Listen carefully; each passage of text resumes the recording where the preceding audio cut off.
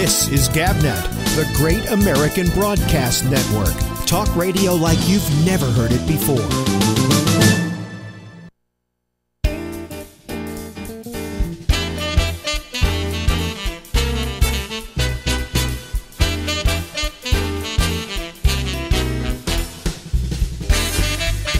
Hey, everybody. How are you? It's Alex Bennett.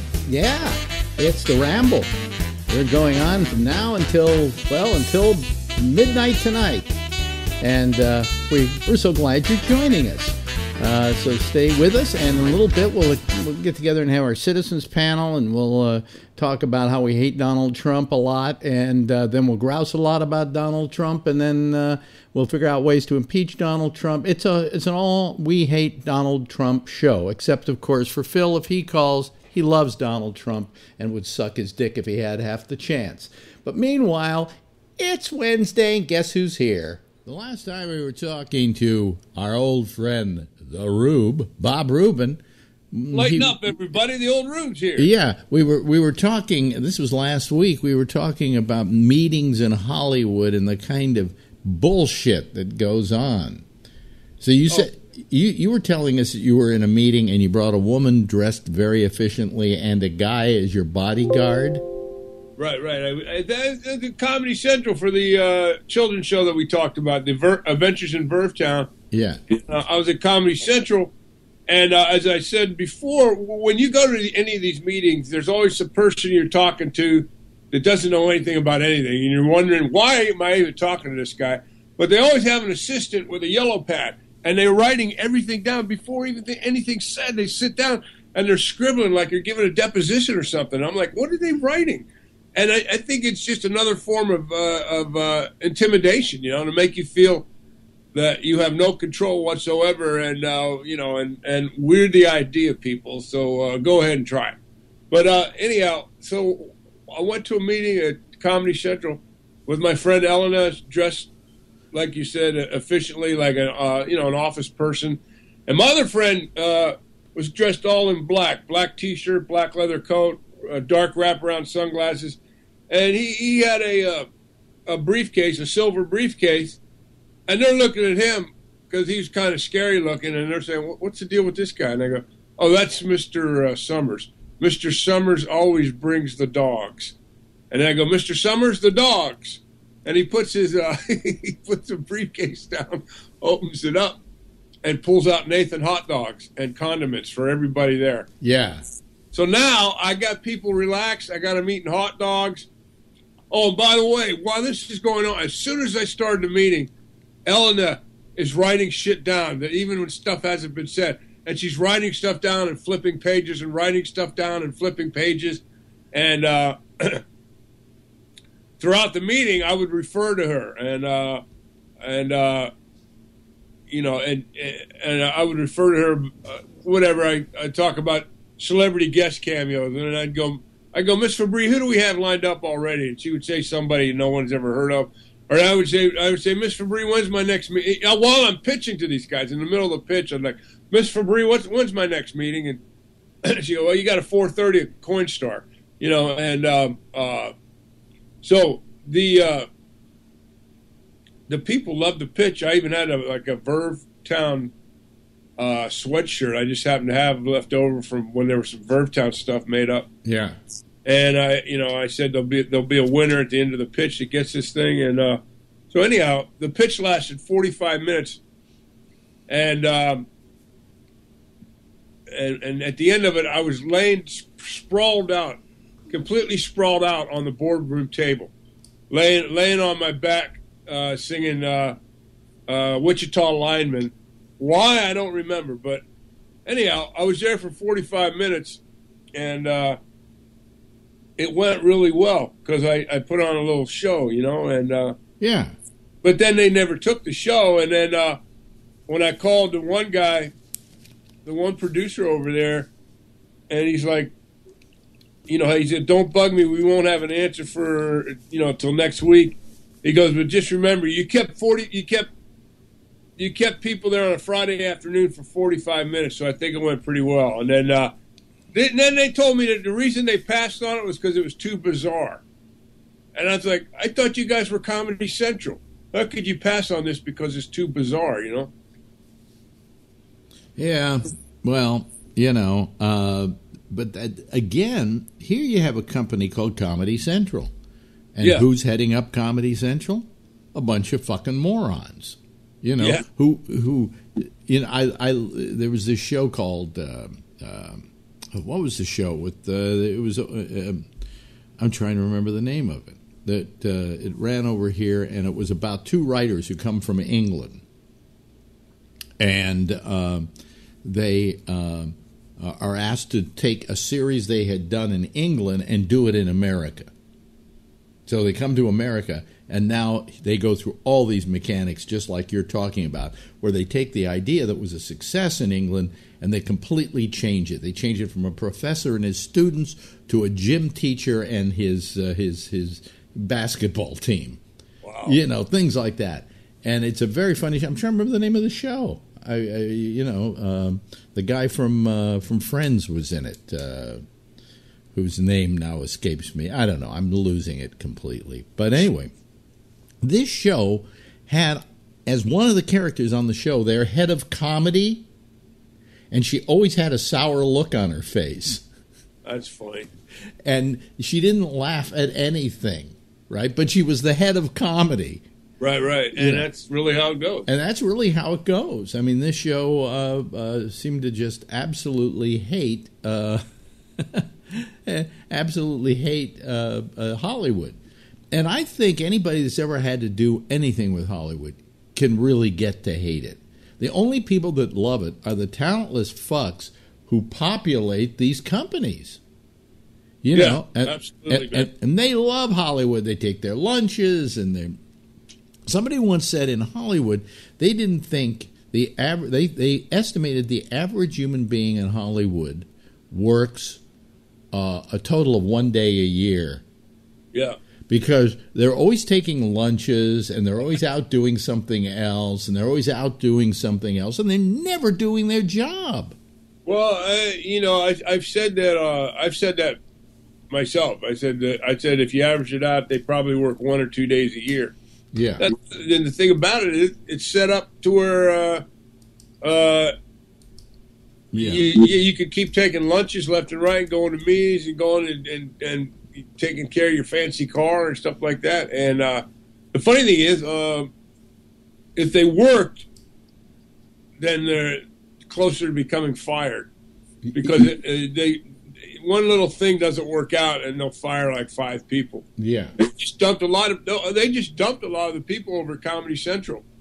Really? Oh, the name of that show, by the way, is Matt LeBlanc is the star, and it was episodes. Oh, right, right. was the show, and it, it but they fired a whole bunch of people over at Comedy Central. Yeah, as a matter of fact, um, this one dude, I'm not going to mention his name, but uh, I helped him back when I remember when I did Saturday Night Special on Fox. Yeah, Uh, this one guy came to me, said, "Could you put in a good word for me?" For and I said, "For what?" He goes, "Oh, I'm trying to get a job as a producer."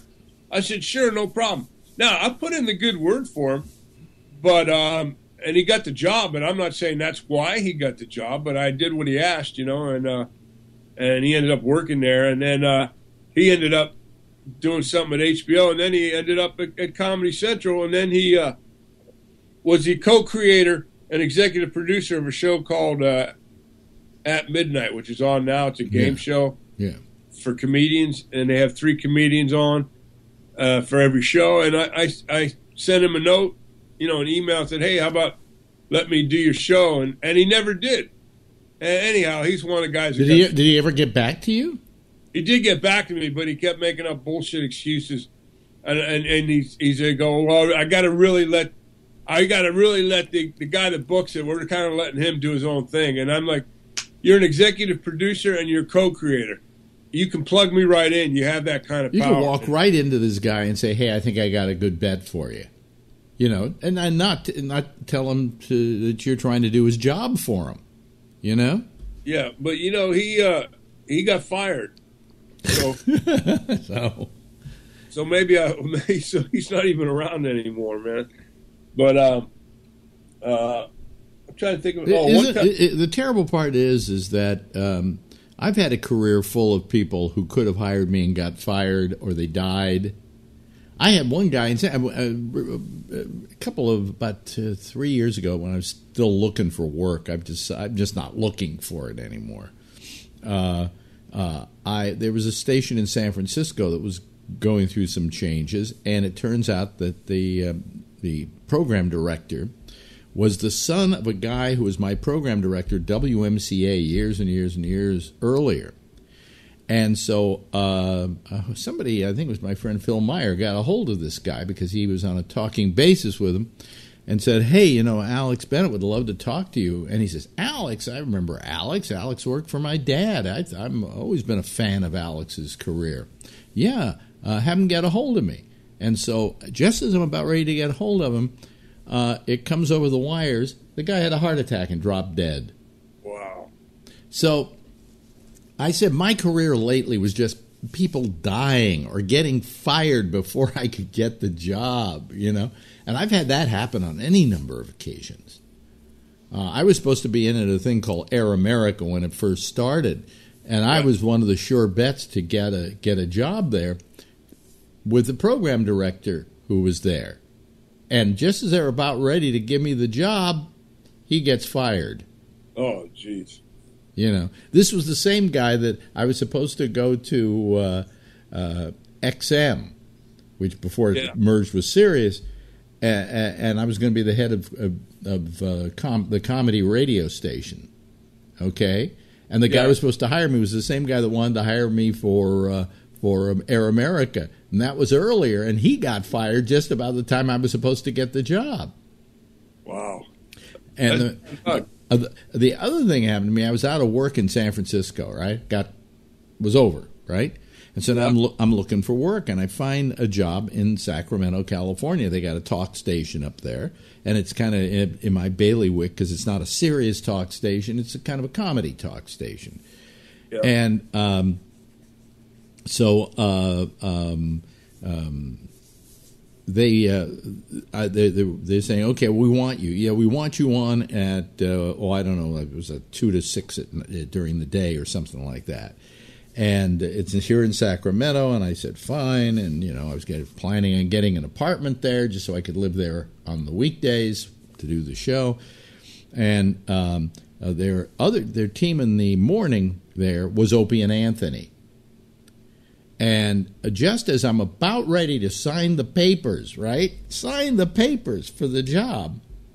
Opie and Anthony pull this stunt where they send somebody into a church to do into St. Patrick's Cathedral to fuck in the pews. Oh, jeez. And that became this big blowout and they got fired from you know uh, the, Yeah. the, from the station in New York. Therefore, there was no show for them in in uh, Sacramento, and they said, "Well, the network, you know, CBS has said we have to take a different direction now." And so, because these guys sent somebody into a pew in in in, in New York at St. Patrick's Cathedral to fuck in what was obviously a spate of really bad taste, yeah. I'm fucked out of a job. Right? So uh, this you goes. could This get ki- out of a job. what? Or you could actually say you were pewed out of a job. I was pewed out of a job, or I was screwed in a pew without uh, something like that. Anyway, I mean, but these things go on all the time. That's why show business is such a frustrating profession. And I don't know how I've been. I mean, I'm, now I'm a has been, but when I was a was, uh, I was pretty successful at it, and I was making good money. And I'm very lucky that that even happened to me because I could have spent a whole career like most other people, getting mediocre pay, having mediocre success. You Yeah. know, so I'm I I don't I, I can sit here and cry about what I don't have now, and that I wish I had saved more money and didn't take everybody out to lunch, you know, and all of that. But really, when I look at the career as a whole, I can't cry about it no, you can't. you know but yet it is so maddening when these these things that you have no control over start playing into your destiny and i think that's what you face i mean you you- know, the thing is, I can look back on my career, which is now 35 years old, and I can cry. I can cry all day long. i think you could i think you have a right to cry Because and, and, and the thing is this, man, that's kind of I just uh, here's a positive spin on that. You know, if I ever get an acting gig where I have to cry, you got to think about something that would make you cry. So I'll just, just think- even though I'm working at the time, if I had a movie role, I'd just start thinking about my career and I'd start crying. Yeah, yeah, yeah. I mean, it, it it's uh, uh, it, it's terrible, you know. And it, it, it, I've often felt it was terrible where you're concerned because you are very special as a comedian, and you have very special. You have a strange ideas, and and i your comedy comes from an area of uh, how how can I describe it? It's just bizarre, right? Yeah. But take my word for it. Somebody once told me something. I, he was like a salesman or something, and uh, for a radio station. I can't remember what he was a salesman for. And I said, "What is the hardest thing for you to sell?" And he said, "Something that's never been done before." He said, "You can always sell something that's been done before. It may Yeah. fail, but you can sell it." because people feel safe with something that's been done before. But if you bring something in the door that's never been done before, you unless you really work your ass off, you're going to have a hard time selling that idea. That's true. You know, and uh, that's a sad, sad state of affairs if you think about it. Yeah, man, it sucks. You know, you'd Because like you these people that oh, they're just doing a job, man. I mean, they could go into the corporate world and do that same job, yeah. uh, but they're in a world where uh, you know you've got.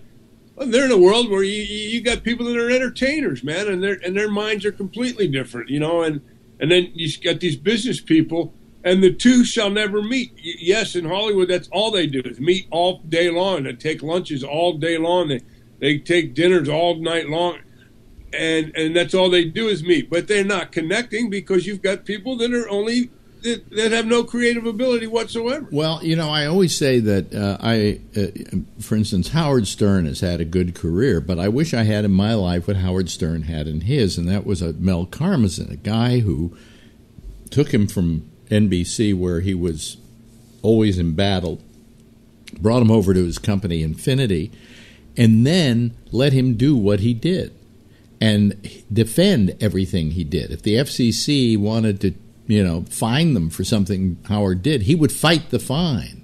And he would defend Howard, and he would he literally was the man responsible for Howard's career. Howard uh, later turned on him, but he has to admit that he would have had no career without, you know, without. Uh, Yeah, uh, just getting the- lucky. In other words, at a precise point in his history where he was different and unusual, Yeah. and he got fired for that.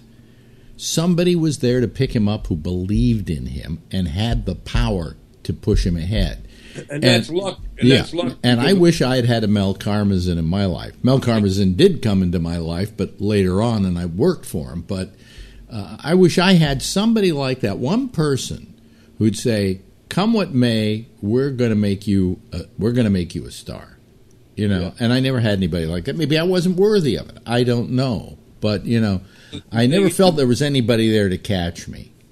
Yeah, the thing is, uh, you got to get lucky for that to happen because um, for a guy that, that really gets you and also is in a position of power, that's a very rare thing because most people in a position of power, they got there from never sticking their neck out.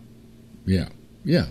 Uh, uh, but there, but in the case of Mel, Mel was the kind of guy who, and I, uh, I turned down a job with Mel Karmazin once because I'd heard horrible things about him, and I was all wrong to feel that way. I mean, uh, he was, he's really a very principled person who, on top of everything else, loves talent.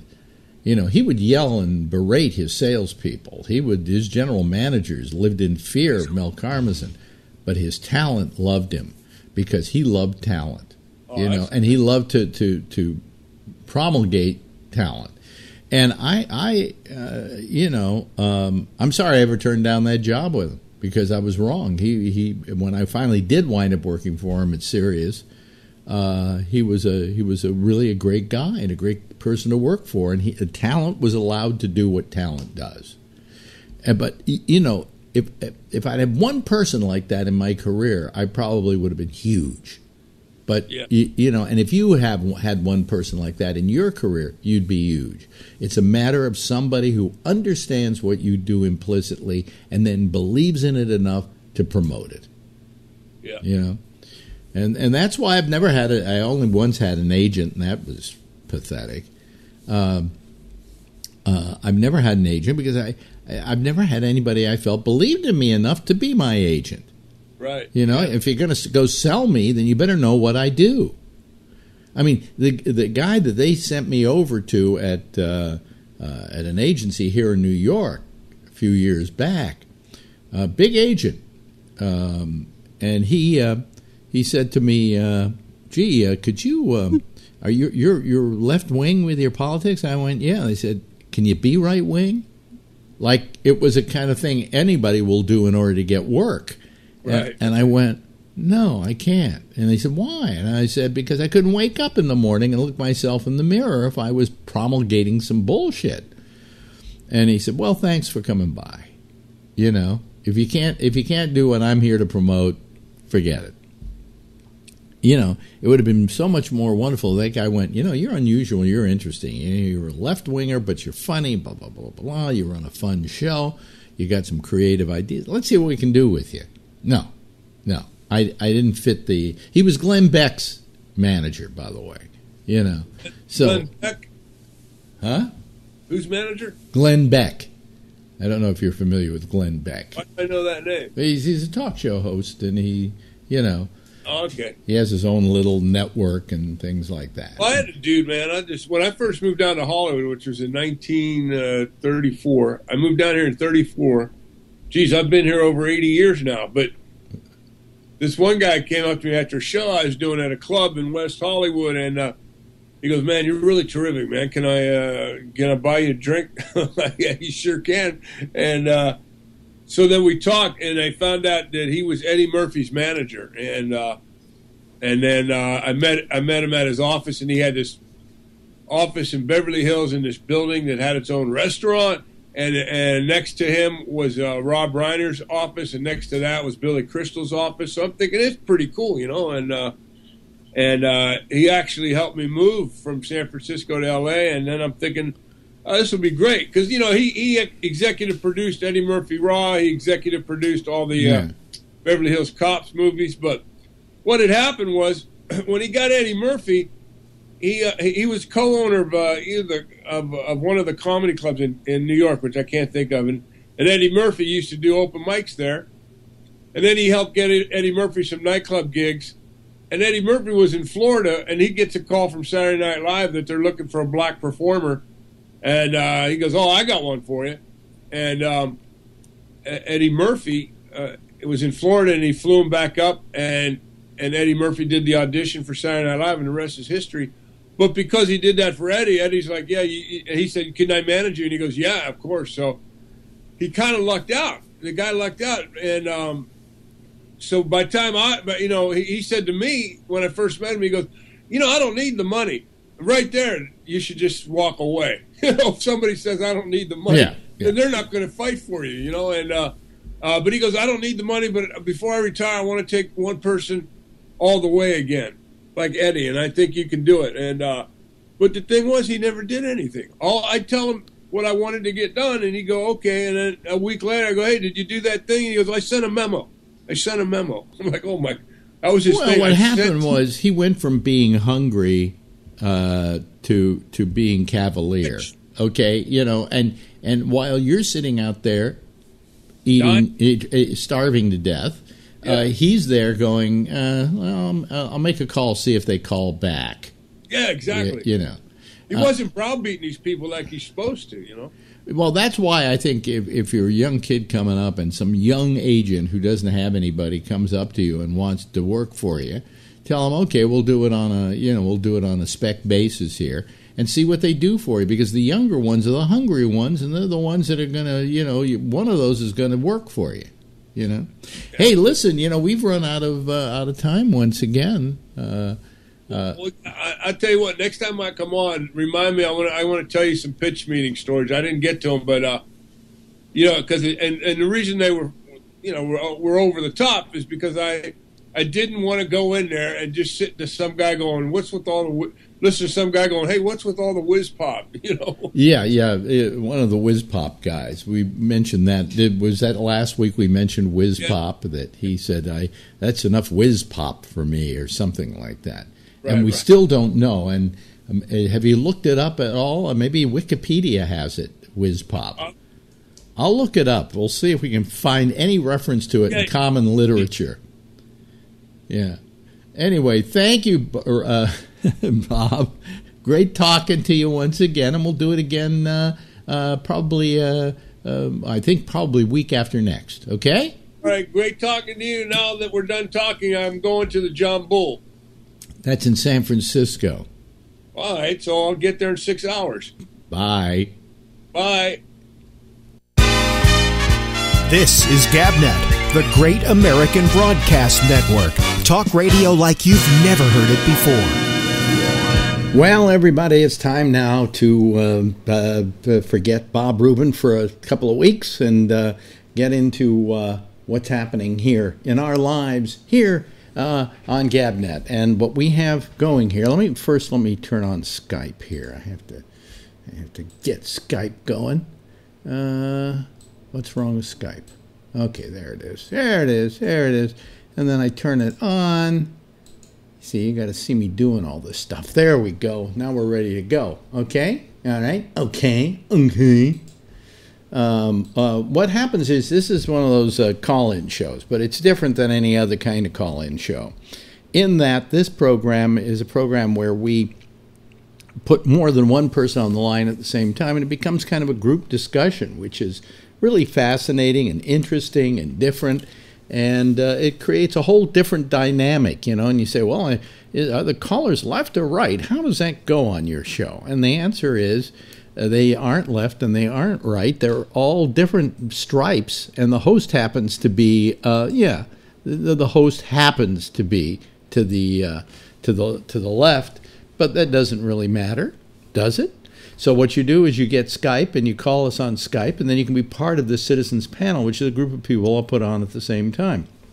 Go to skype.com. In fact, rather than me tell it to you, just go to gabnet.net, gabnet.net, G A B N E T dot net, and uh, then um, uh, look at all the information there on how you can call this program. There's even a phone number you can use, a normal, legitimate phone number, so you don't have to use Skype and you don't have to have any technological uh, uh, savvy in order to pull it off, okay?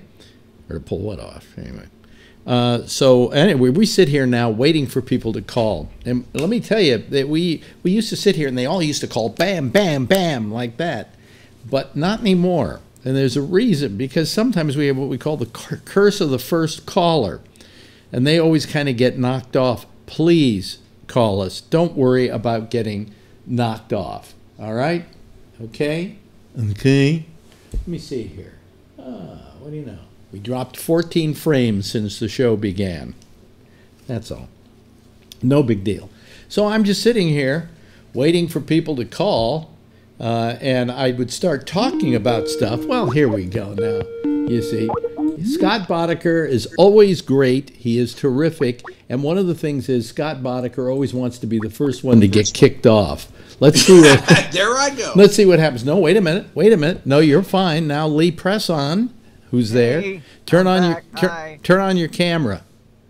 Uh, my camera's on. Oh, it should be. Well, turn it off and then turn it back on and see what you happens. see me, Alex? Yeah, My I camera can- says it's off. Well, I can see you. Okay, fine then. Your ca- your, your camera's lying. Okay. You know, life is terrible when your camera lies to you. Yeah. Yeah. It's grayed out. Really? Yeah. Son of a bitch. Well, I'm I'm seeing you. No, it's- Lee, it's- uh, okay, have you tried but, uh, turning your camera back on? There There's the you back go. There there we go. And then uh, There we and then go. I'll go There we back are. to No. Logitech here. No, wait a minute. No, wait How's a- that? No, you had the camera there for a second. Oh, okay, so FaceTime's not working today. So we're gonna go back to this camera. Hi, folks. Wait a minute. You got to turn it on. Oh, is it not? Oh, geez, I went bad. Oh, there's a bad connection. Haha. I'll be right back. Okay, call us I right recognize back. the voice, uh, who it is, but yeah, I Yeah. think I recognize. Yeah, it's Lee Presson. He Yeah. he was one, the band leader on my radio shows in San Francisco. Oh, was he? Yes, Okay. yes. Hello, He doesn't look Rob. that old. What? He's young looking. I know. Well, I mean, there were a lot of young people around me when I was old. Okay. Okay, so- okay. Like now. Hello, Rob. Hey there, Alex. How are you? Hey, Scott. Are you going to turn on your camera? Uh, because, or are you in the dark again tonight? No, I, I, every day we get a little better. I've got light today. Yeah, today you've got light. Are you now? You're in the new place. Your New temporary, apartment, the temporary place, your temporary digs. How long are you going to be there for? four months. Four months. Okay. Well, Yeah. Do you like little it? apartment. It's okay. It's a little apartment. Uh, you know, the air conditioner when it go, comes on sounds like um, the Mister Softee ice ice truck, ice cream truck. Does it play a song? No, it doesn't play a song, but it's got the same, you know, roar of the motor. Oh, when really? it's, when it's idling, and you're, you know, that's what it reminds me of. It's loud. Let me see here. Here, here comes Mr. Goodbar. There's Phil. Hello, I'm still Phil. stuck in Iowa where it's freezing, man. It got up to 71 degrees. I'm like, I need my thermal underwear. 71 and you got really I said at 61, 61. It's six. Do you know something? It is exactly 61 degrees right now in New York City. i think it's like 50 something here in virginia Yeah. Oh, that's freezing. Phil, are you there? Yeah, uh, yeah, I'm here. Uh, what's cooking? And we'll turn your camera on. Oh, okay. Oh, okay. Uh, I got the same deal as everybody else here. It's, it's What? off now. It's on now. I, I had to toggle Yeah. it. yeah, but where's Lee Presson? What happened to Lee? I, was, I want to talk to Lee as well. Not that you Got people bounced aren't. off. Wasn't he the first guy? Yeah. No, All right. no, he was the second guy. Scott Oh. was the first guy. He's fine. Yeah. And if you may notice, it's a real casual show. You should go lie in bed too. Everybody should lie oh, in yeah. bed Scott tonight. laying down tonight got a pillow behind him are you taking after me here Yeah. All right. Well, Okay. uh, you know, I'll I'll confess. I, I, I don't have any pants on. Oh, okay. You don't really, I'm truthfully? sitting around in my gatkis. Uh, okay. Hello, Jeff. Good evening. Turn on your camera so we can see you. Let's see here. This is amazing because uh, There you go. I have go. to turn it off to turn it on. Yeah, I It's know. always I on. know. I know. Well, go. We get a hold of Skype and tell them they have a few problems with their program, but you can't get a hold of them. Yeah. There's nowhere to get a hold of Skype. We have put the the the task to this audience and to these people. How do you get a hold of the people at Skype? And there is no way to do it. Usually around the neck.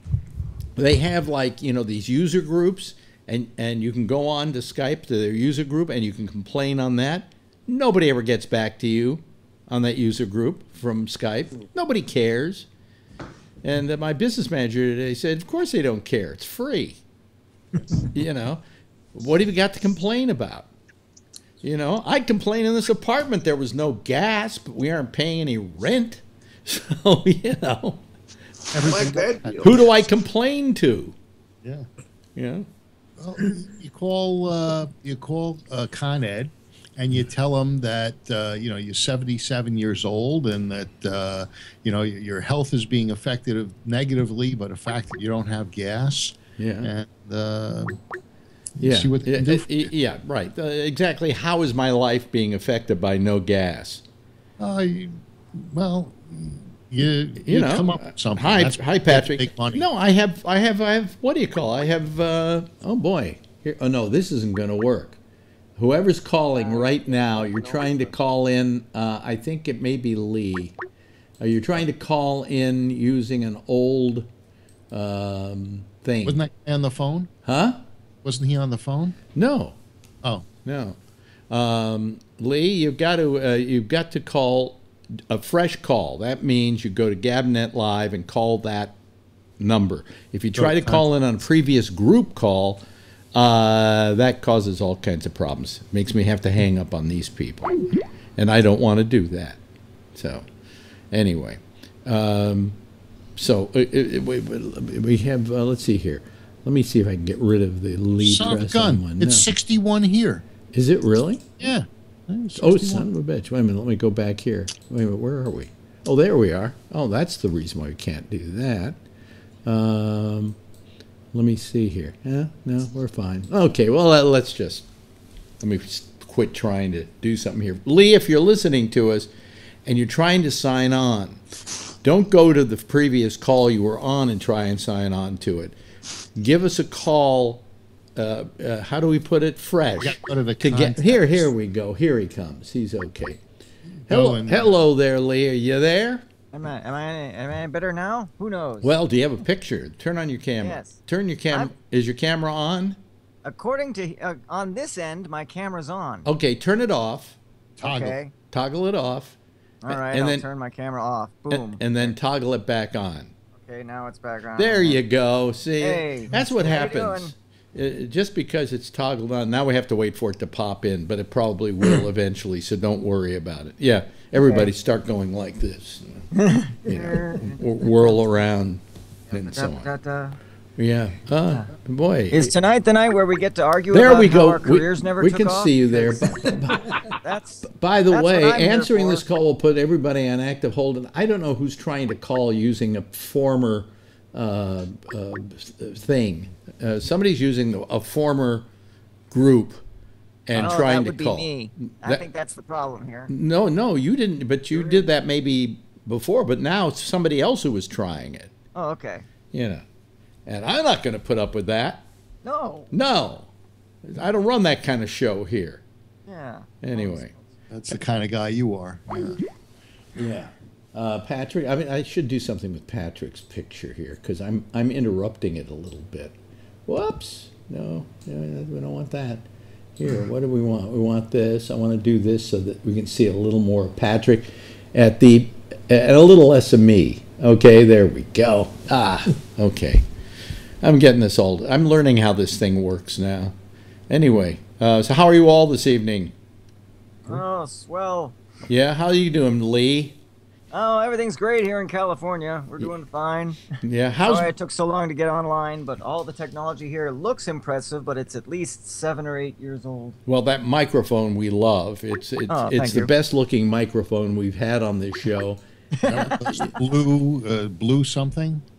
It's a blue, yes. It's it's a chrome blue. Why do they do them that way? I wonder. Uh, different to hundreds of different colors to suit your individual taste. Oh, I see. Is that what they say?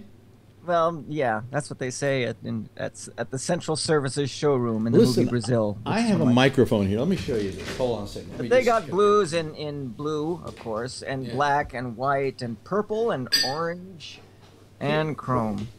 I have this microphone here. First, I'll show it to the Wow, there's a audience. workhorse. Huh? It's an Electro Voice, It's right? an Electro Voice 635A. yeah, that's that's the one. Well, of wait the a minute. Here ones. comes Ray Renati. Oh, hey. We haven't heard from Ray in a long time. Hello, Ray. How are Hey, you? how you doing? Yeah, fine. Great. Uh, Tony, turn your camera off and on again, would you? anyway, away from a full house. uh, you- yeah, we're one away from a full house this early. What time is it? It's 10:42. Anyway, this is a, a, a, a 635A. Okay, this is I bought this microphone. Ready? When I was 16 years old, and they still make this microphone Yeah. today. Yeah, they do. Uh, and this microphone, if I plugged it in right now, still works. Okay.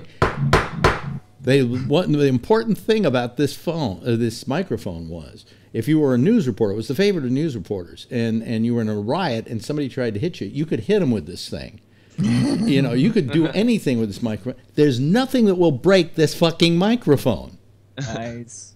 you know and i could uh, uh, i could plug it in i haven't i don't don't have an empty i could do it and let you hear that it it's, it sounds fine if you look at old frank sinatra specials he uses the electro voice 635a Very popular. mic. when i bought this thing it cost me and i was a kid at the time and it was back way back when and it cost me $25 that was a lot of money in those days. And today it sells for about 150 but they still make the same mic after all these years. Sounds great. and now what i was going to say about different colors this thing kind of if you look at it it's kind of like uh, uh, let me also show the audience because i use two different cameras one for you guys and one for the audience. You can see it's kind of been all hacked up and everything. That's only because it used to be just silver okay?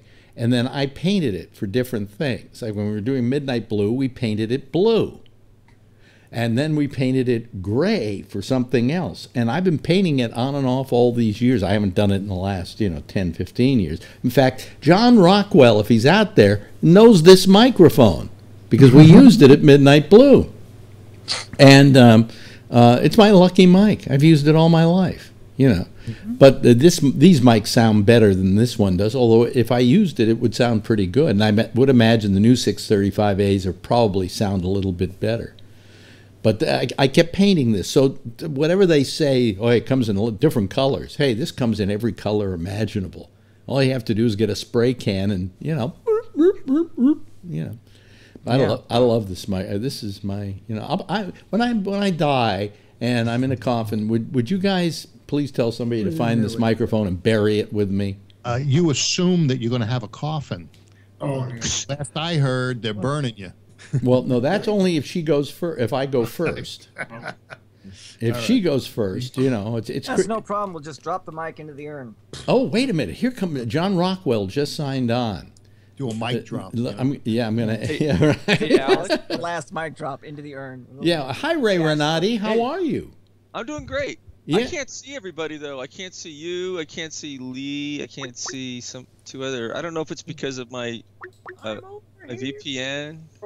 It could be. Do you have a, do you have a VPN going there? Yeah, maybe I should turn it off and call yeah, back. Yeah. Why there don't- you are. Now you're there. Oh, okay. John Rockwell. Yeah. I heard my name. Turn on your Taken ca- in vain. turn on your camera. Oh, I thought I had. Well, everybody thinks they more have their camera turned on, and they do, but that it, phone. it's Oh, it's microphone. Oh, uh, it's not working.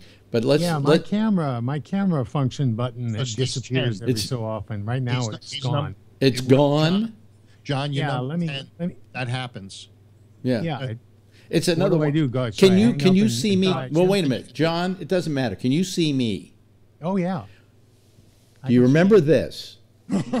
Oh no, I saw it. Yes, that's yes, definitely. Huh? You remember? the blue was the blue mic. I I, I heard that. Yeah. Yes, we I wouldn't have noticed. Now I can see where you know it was. It's got a blue tinge that probably wouldn't have had back. well, no. It we uh, this has been repainted since then. Oh, I'm sure. Yeah. Eh, but we we painted it blue for Midnight Blue, mm-hmm. and uh, it was silver when I first. Right. That's the standard Electro Voice silver Yeah. sort of thing. And then uh, I have one like that. I have, yeah. a, I have the. I think it's the RE20, which has a little bit larger sort of uh, pop filter thing on. I still have that from from my uh, my my old boss's uh, pro uh, recording studio, and I'm using I'm using uh, microphones that we used all the time.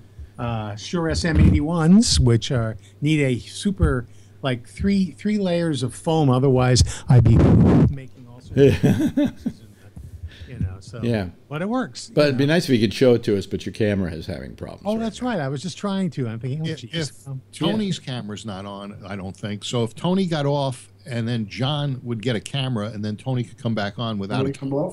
Yeah, why don't you hang up right now, Okay. Yeah, Tony? I know. Is- Yeah. okay, now does your does your camera come back there? hasn't come back. Well, Oh, there it is. Th- There it is. See? Okay. Oh, now I'm off. Now I'm on. Yeah, Yeah. yeah, Okay. yeah. So now you can show us the microphone you were talking about. Tony could call back in, but he wouldn't have a camera. He didn't have camera anyway.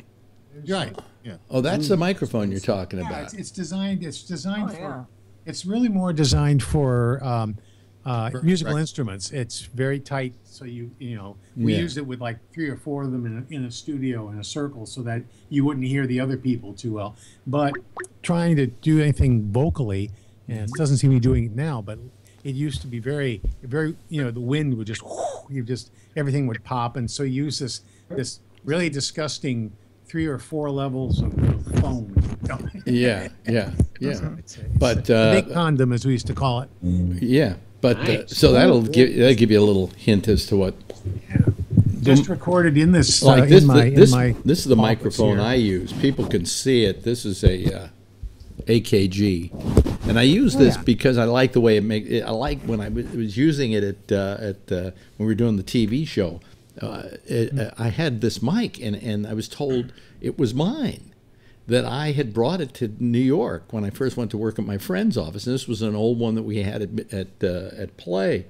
So I bought another one, uh, and I have two of them, and I love the I like the way it makes my voice sound. So you know, that's all that matters. I've never been that. Have you ever been that fussy about what microphone you use, John? Not really, though. I if I if I'm doing a recording with four or five people, you know, or a couple people at once, it's good to have the same sort of microphone, so there really isn't a big difference in in sound quality between the people. Uh, but it's not that important. I work at a studio in Union off of Union Square that uh, they have a couple of AKGs and they use them all the time. I always make sure that those are the ones that are on if I'm having two or three people because then it's consistent, you know. Yeah. But I've got mics. I got mics that I could use. You know, if I'm, Yeah. um, um, if I'm doing remote things, I could do it and all that. You know, different ones.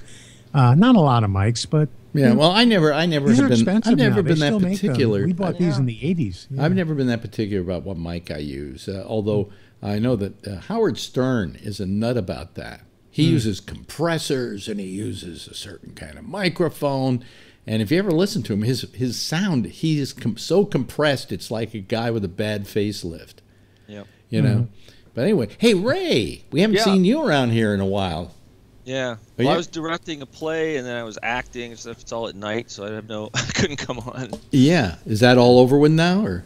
Yeah. Oh, good, good, because Yeah. we we like you being on here. Thanks. I'm coming to New York uh, June 2nd for a week. Really? So- You Yeah. Should, you should give me a call and we should uh, hook up if you have a chance. I mean, you don't have to. I, I, I always make it a policy never to tell people when I'm coming into town because then people want to see you and you spend most of your time trying to keep everybody happy rather than having a vacation. But if you want to get together, we will.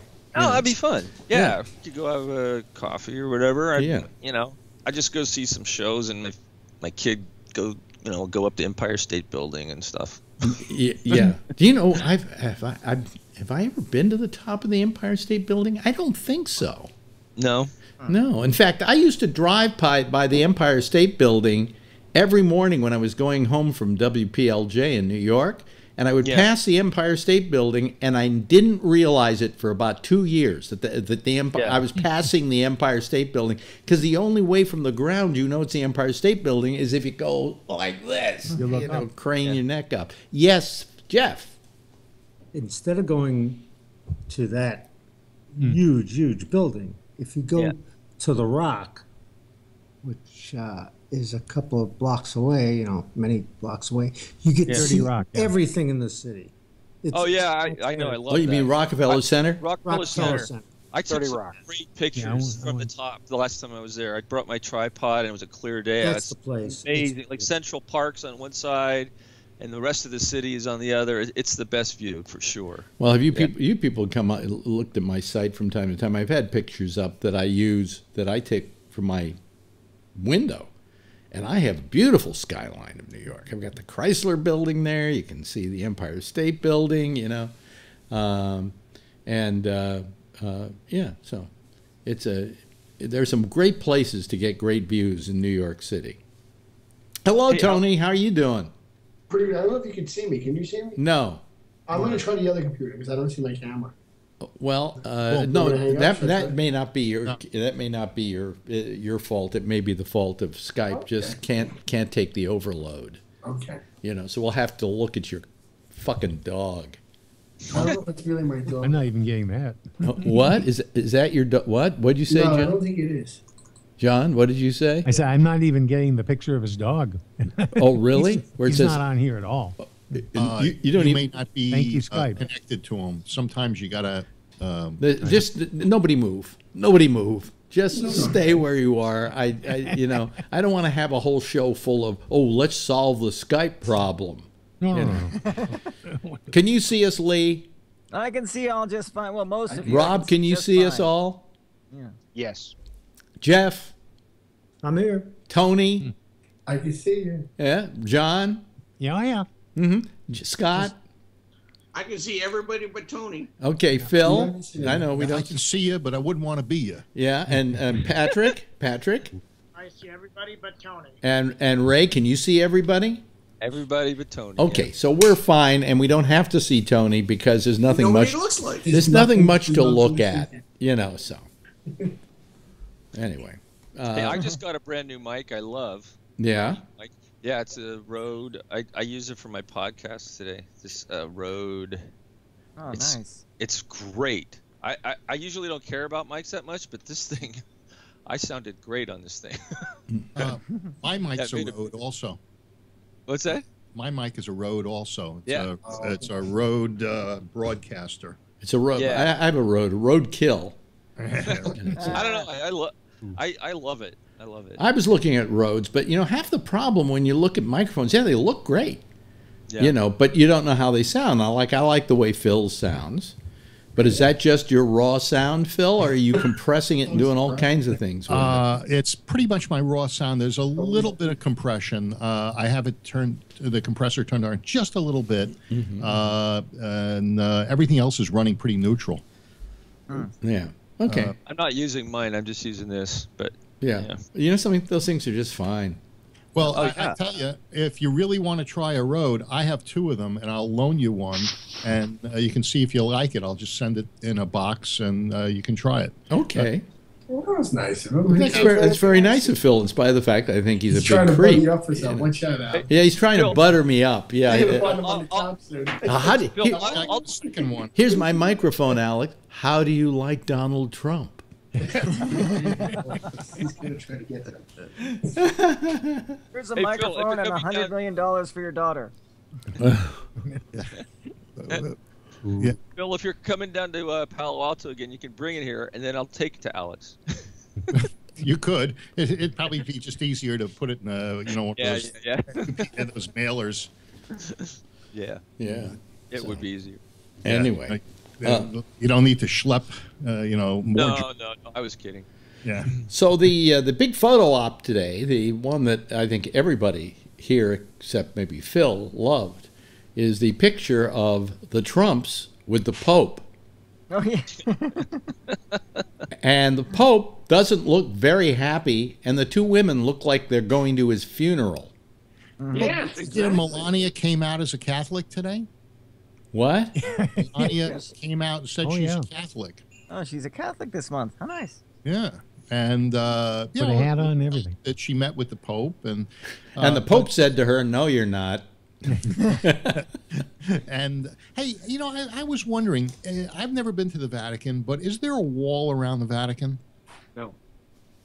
No. Gates more, I think. Fences and fences and gates, but I don't know if Fences it's a big gates. big wall. Yeah. I'm sure right. Donald felt very comfortable there with all the gold gilt and all the stuff that's uh, it's right up his alley. Yeah, he thought it was his. Pl- he thought it was his place for a second. Yeah. Uh, you know, I wonder if uh, Trump asked the Pope to kiss his ring. You know. Yeah. Hey, the the Pope gave uh, uh, Trump a paper that he had written uh, about uh, climate change, and uh, Trump gave the Pope a whole bunch of gifts from uh, uh, what's his name, uh, the uh, black leader, uh, Martin Martin- Luther King. Martin Luther King, right? And uh, What did he gold- give him from Martin Luther King? What what what, what black stuff we got museum did he steal White that House. I don't from? like it anymore. Get rid of it here. You can have it. he, he gave him uh, a, uh, set of books, uh, and I, I'm not sure whether they were King's or, but King had written them, and uh, Oh, they were probably a set it's of written. Ma- I think it was Ma- written. Martin Luther King books, and it, the Pope has probably read them all. yeah, but these are in English. You know, um, but uh, the um, uh, n- n- actually nobody in that photo except Trump looks happy. He's smiling. yeah. But the Pope looks Pope li- turned well. The Pope looks like somebody in the room farted. That's really how he looks. Trump knows So how does to Trump, and he's the guy who did it. I haven't seen this. Yeah. Wasn't wasn't Trump raised Catholic? I believe he was. I'm not sure. He's Protestant, I think they said. Oh, is he? Oh, okay. Presbyterian. Yeah. Presbyterian. The Oh. same. There, there is a picture of uh, of Melania, uh, Donald Trump, and the Pope uh, talking to each other, and the caption they put on it was the Pope saying, uh, "I think in your case, divorce might be a good idea." Annulment. Annulment? no. Yeah. Yeah. I, I made one today of uh, Trump and the Pope shaking hands, and Trump saying, "Why do you always wear that silly thing on your head?" And the Pope says, "I was just about to ask you Oh, the same." oh by the way, the- When, uh, when Trump got off the plane uh, today in Belgium, uh, he was on the tarmac and it was windy, and his hair was actually lifting, and I could see on the left hand side of his head. Uh, Six, it is- six, six. quite- yeah, well, it is quite receded. Uh, I was surprised that the hair didn't move around more than it did. It lifted a- in unison, you know. That, that is a problem on Trump's head and on Formula One racetracks. Yeah. Sometimes the wind shear factor can I, I watched it for a while, and then you can see cameraman went off of that shot, and I'm sure he was told to, to get off that shot. You know that it I wasn't I wonder if Trump could just fly He's away. coming around. He could become like the flying nun. Flying nun. Yeah. Yeah. that's what I was thinking. Phil, wouldn't Trump be better off to shaving the hair off? Uh, no, you know, I mean that's his look, uh, and his look. and he, he, he claimed it's his trademark, and uh, It's a pretty ugly fucking trademark. I know. Well, you know, a lot of people have uh, you know weird looks, and you know that was his, but It it, looks messy though for a president. No? it- I mean, we people who do comb overs, we make fun of. You know, and it's such an obvious comb over. I mean, uh, it, and it, I, it, I just think that a person who has to worry about the way his hair is looking. I mean, if he if he just went bald or something, or Yeah, just cut it short, people embrace. would admire him for doing it. Yes, Patrick. To call Embrace your bald. What? What? what Trump has a comb over is an insult to everybody that has a comb over. That's true. Okay, come on. It is. It, it is. It's a decision that I am just now beginning to have to wrestle with because uh, my hairdo has been unchanged for basically 20 years, but now as it gets thinner, Yeah. I have to get more imaginative. But you still have a lot of hair there. Oh, this is a miracle of modern engineering, Alex. Really? this is this is pomade and hair dye and all kinds of cool stuff I got going on up here. I got to take down the scaffolding in the morning. Yeah, well, a girlfriend is the one who talked me into not coloring my beard anymore. Used to color and coloring my hair. Uh, I think one of the reasons she did it is she just wanted me be, to be attractive to anybody else. But you know, uh, but no, I saw that's why I'm I'm I, I I've been gray now for well ever since I knew her. You know, he, she claimed that my hair, the the color was kind of wrong and it was going orange. oh my god, that's like a Trump thing. That's Yeah. What happened. I mean, Ray, you you're you're gray. Did you ever Yes. try to color it when it was starting to I, I get gray? used to color it for years uh, so I could get parts for younger men. Yeah. but um, yeah, it gets orange. It gets like tricolored. You, know, you got Yeah. orange. Oh, and you have to keep doing it, or you have a three three colored sort of head going Yeah, on. and then your head itches like crazy from that Oh, yeah. stuff too. Yeah. Get It's used to horrible. it. Did you? I'm an old goth. I've been doing it since I was 14. Wow. uh, You've been gray. s- 14? Have you had gray hair since then? No, no, I just dye it. goth look. But I'll tell you, I'll it tell, wasn't I'll tell you, the enough. way you've done your hair, the color you've done your hair, along with the mustache and everything, is part of your style. Exactly. You know, it's kind of got Now I a. do it You you want to evoke what a, a 30s or 40s style? I'm trying to look like a human cartoon. Yeah. How am I doing? Works for Trump. You know, doing I'm. I'm so I'm, I'm so glad that we. So I can't get really, I can't get mad at Trump when he does that shit to his hair because I'm doing the same shit. I'm so glad we now have video. I'm just better at it than he is. Now, here is the other uh, statement today that was just amazing. Uh, it is reported that on uh, the 29th of last month, uh, the president was speaking with the prime minister of the Philippines. Is that what they have there, Rob, as the prime minister? Yeah, President. President. President of the Philippines. And Chief uh, despot. Huh? Chief despot. The chief despot. yeah, yeah.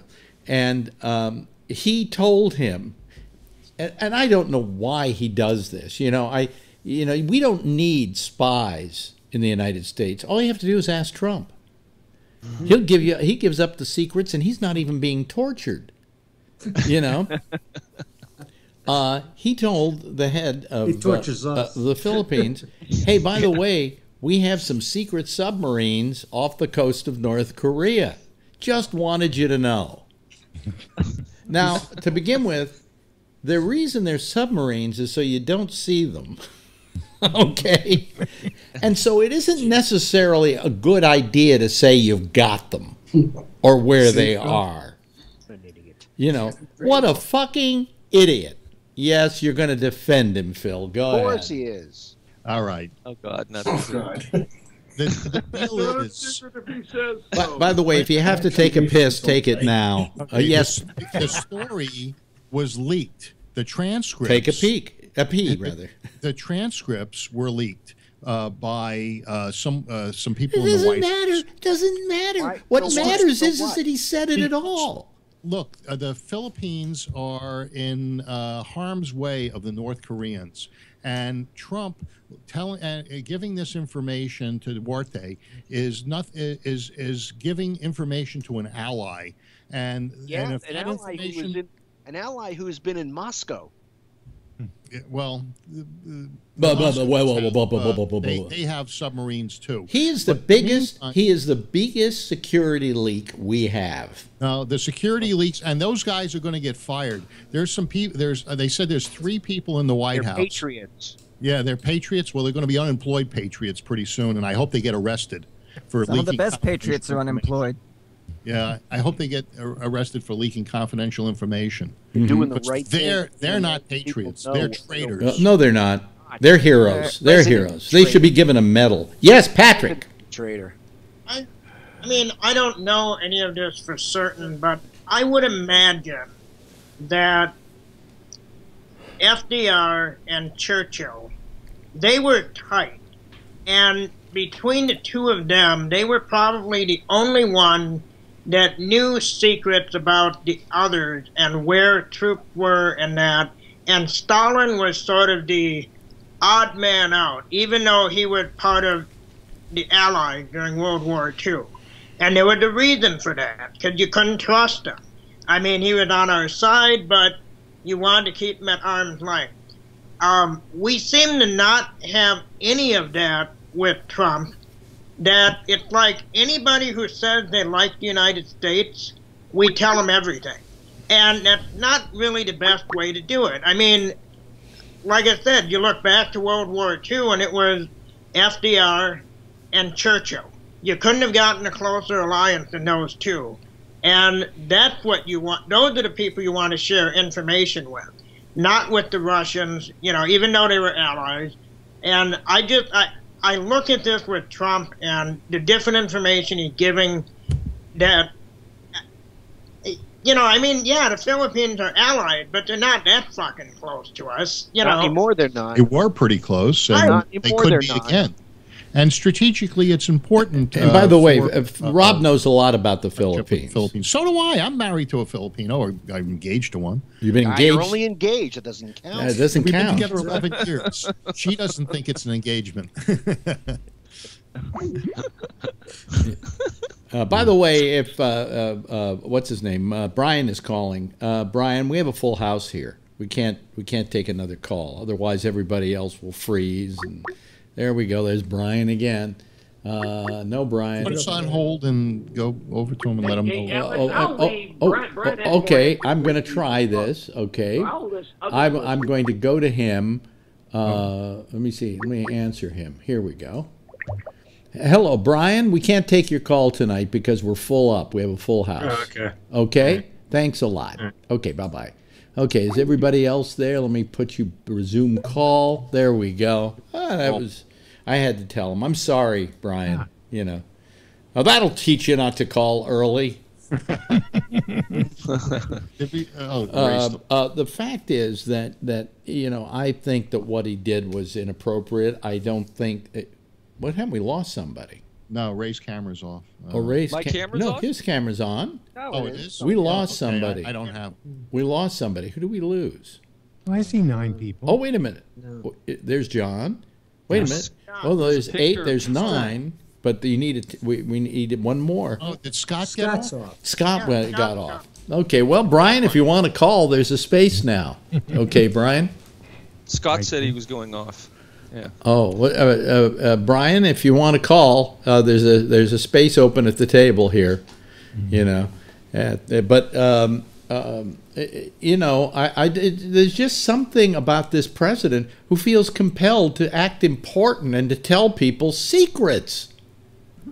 This is And He ridiculous. doesn't realize that he's going to he's going to wind he's ruining the reputation of this country because he decides because he's the grand high exalted mystic ruler or whomever he could just decide at at a moment's notice to just declassify something or give somebody information without thinking of the consequences of Yeah, it. and let me add to that. And then uh, Patrick has his hand up.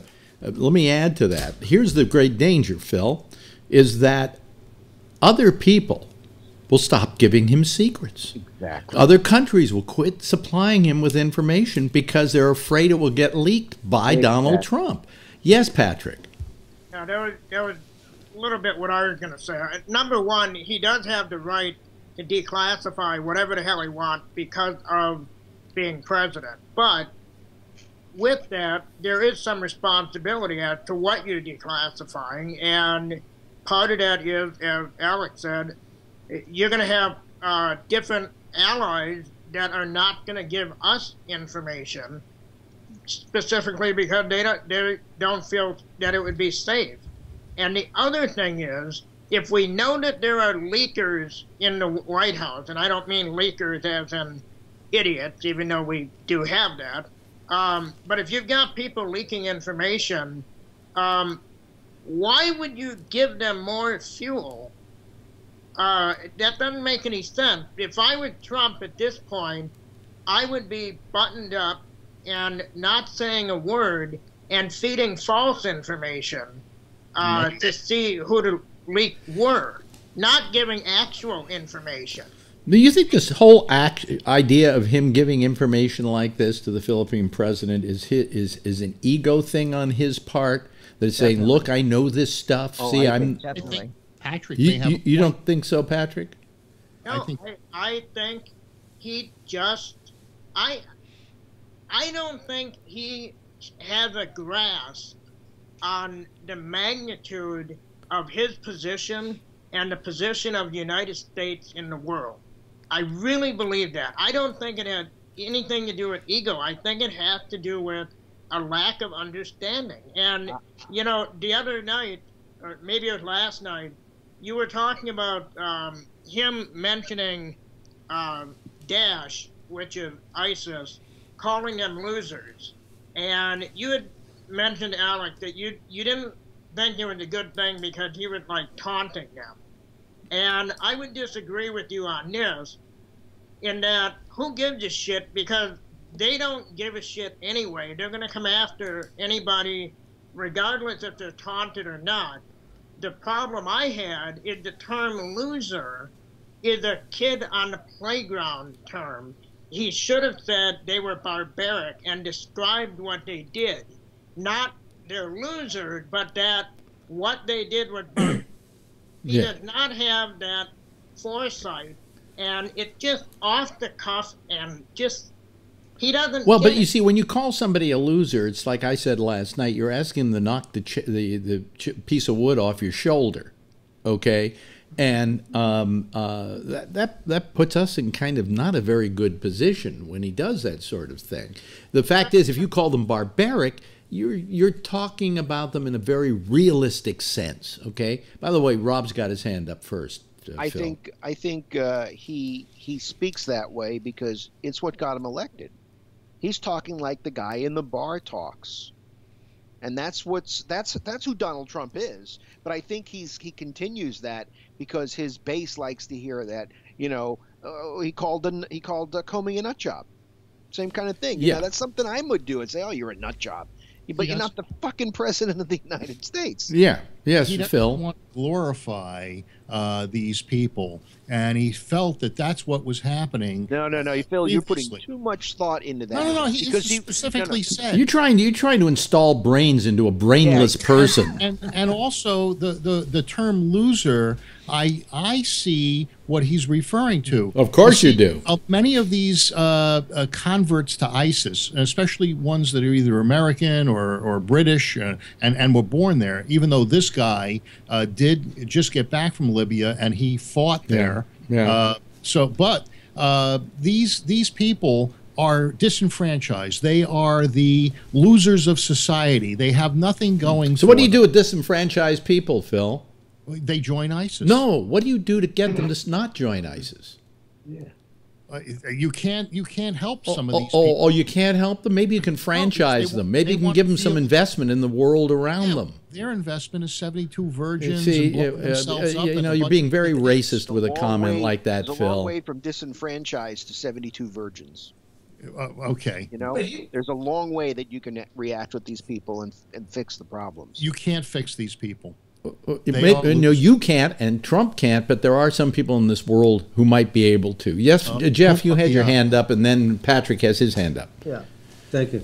Um, I think about Trump. He's a guy who really wanted to be in charge of wrestling on TV, not necessarily as a wrestler, but as as the guy who would Oh, irritate everybody and, and get everybody uh, irritating each other. I got one. And I think he's he unfortunately didn't get to do the job that he really would like to do.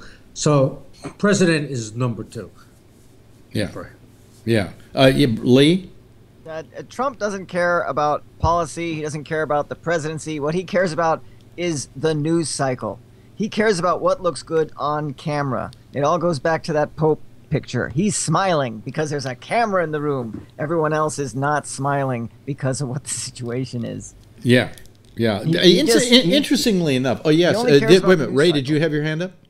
We- uh, yeah. Yeah. Yeah.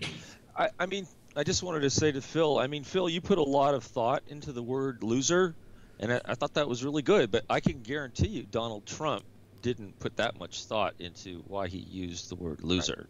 So, I don't know. You I, think I he can did? see that. Yeah, I think he did. really? Uh, okay. And Yeah. and he's also, you know, he doesn't want to glorify these people. He wants to tear them down. He wants to dismiss them as as as as the worst of the worst. Yep, but, but you're not you're not dismissing them by calling them a loser. That's a term you use in the playground. You you dismiss them more so when you call them barbaric, when you call them uh, inhuman, and things like that. But not when you call them a loser and somebody else a nut barbaric. job.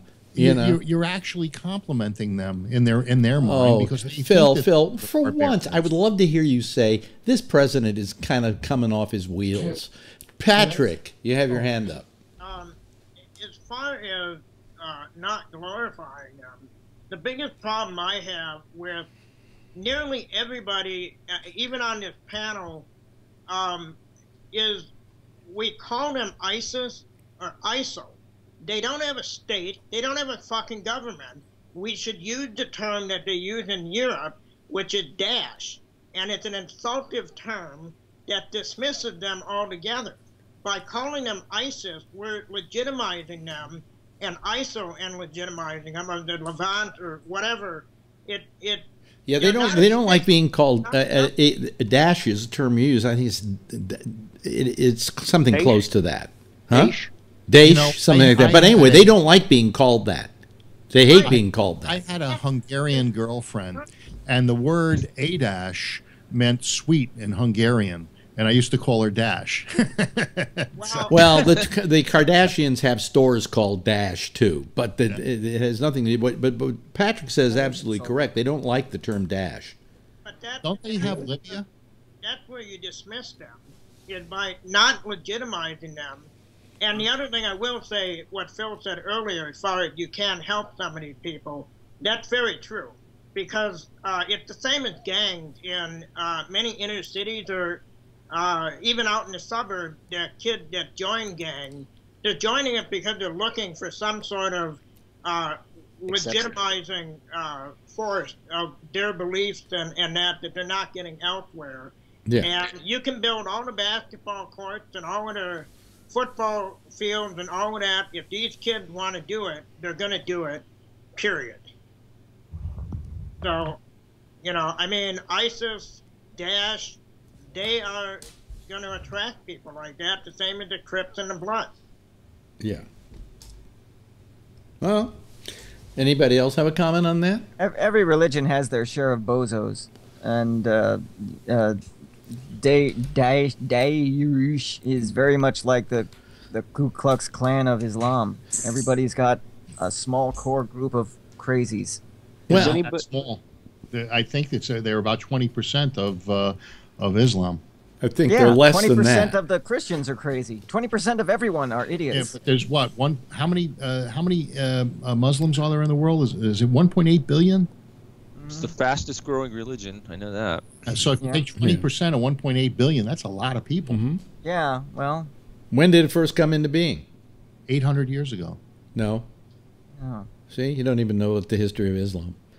Muslim. Uh, Mohammed was uh, oh 800 was the year 800 or it was 800 No. years ago. No, no. Try try six hundred and ten. A big deal. And and and Muhammad wrote the last surah in uh, I think uh, eight uh, six six forty, and then he died. Yes, uh, Rob. It's like Trump in the Middle East, remember? Huh? So do Remember Trump in the Middle East, Alex? He landed in Israel. What did you Yeah. say? he was in the Middle East, and he did come from the Middle East. No, he didn't know where he was, remember? He Uh, that's not true. he thought he had left the Middle East. That's the way he said it. How can you- Phil, Phil, I- Phil. I- you know, it- you know. Every day, every day, every day that you defend this guy, even on stuff in which you could say, "Well, you know, he's a little off base on that one," you become looking more like an idiot. Look, He might bomb the wrong was country. in the Middle East, and and he had a historic flight, the first flight from Saudi Arabia to Israel. Oh, gee, do you, you think that's the first flight that ever went from Saudi Arabia to Israel? directly from Saudi Arabia to Israel. That's that was the first flight. It's it's historic, and It's uh, historic because he took a plane that is not a scheduled airline and went from one place to another. Yes, uh, It's historic. Yes, it's There's I'm just nothing upset his- that he didn't finish the joke. What? It's supposed to be, I just flew in from the Middle East, and boy, are my arms tired. Yeah, That's the way something the like joke that. goes. Yeah. Okay. And he didn't Bada finish the joke. Well, Phil, what do you think the Pope said when Trump left, do you think, today? Like, thank God he's out of here? He must have said something. I, I'm sure he did not look happy. Don't, by the way, by the way, do you have a camera yet, Aunt Tony? Yeah. Do you have a camera on your? T- Yeah, but it's not on. Well, turn it on. Oh, no, I don't see it. It's not coming up on my screen. You said. Oh, uh, okay. I thought it might come up when. Uh, Oh, yeah, When, no, I was looking. when Scott left. Yeah. Um, no, I mean, I just, uh, I, I just think that, uh, that uh, you know, this is our worst nightmare, and it's, it's. You watch what's going to happen in the fall, Phil, when the fall elections happen around the country. Uh, Republicans are going to take a big hit, big hit. hey, that's what they said uh, on this last election. He, Uh, they, that it was and, over for the Republican and they- Party. they were absolutely right. The Republican Party did not win the last election; they won the Electoral College. Rob, That is the Well, election. and speaking of the midterm elections coming up, uh, the the other big news story of the day is that the Congressional Budget Office finally came out with the a rating. C, uh, C, uh, CBO. Yeah, 23. It'll leave 23 million fewer Americans with health care by 2026 than, o- There are only- than under Obamacare. There are only nine million that I believe signed up for on Obamacare at this point. So where's the 23 million coming from? And that's that that figure is from Trent Gowdy. This is th- this is coming from a nonpartisan committee, the Congressional uh, Budget Committee. Yes, but that that is uh, Uh, projecting it out a decade in the future. Yes, but still, that means What they 23 have million been doing. Americans will be without health care. But it's not taking into consideration. I don't the- give a shit. It means 23 million people aren't going to have health care, Phil. because you can, of Obamacare uh, Oh. being uh, eliminated. but there's going to be another thing in place. Oh yeah, I would. I want to wait and When? see that one. What is that? yeah, have you seen it yet? Have you seen it? percentage. When What is that? And you know, there's a lot of people that didn't want health care, and you know that the- a lot of the Republicans are considering funding, keeping, continuing to fund Obamacare yeah. because they're worried. do you know that, the, They that better be worried too. Uh, Nothing will happen. What do you mean? You, you keep your excuse for bad behavior is nothing will happen. He's just I don't proposing think- this. It's never going to happen. I, I think there's always some shift in, Okay. in the House and in the Yeah, Senate yeah, in the midterm yeah, elections, yeah, yeah. and it's going to be okay. business well, as usual. Yes, Ray. you've been thinking about what we're talking about at all? Yeah, I've been sitting here listening and thinking about it. I I think that um, I don't know what's going to happen. I know that a lot of the Republicans aren't in favor of what Trump's trying to do, and so he's going to have a real hard time getting anything to pass. Uh, they'd never say it publicly, but um, a lot of them You are know- not happy about anything that he's doing. You know, let's say I come over to your house and I go, I'd really like to fuck your wife. And is your right. answer going to be like Phil's answer? Uh, that, well, it's not going to happen. Or are you going to slug me? You know, the fact is, I had the thought in my head.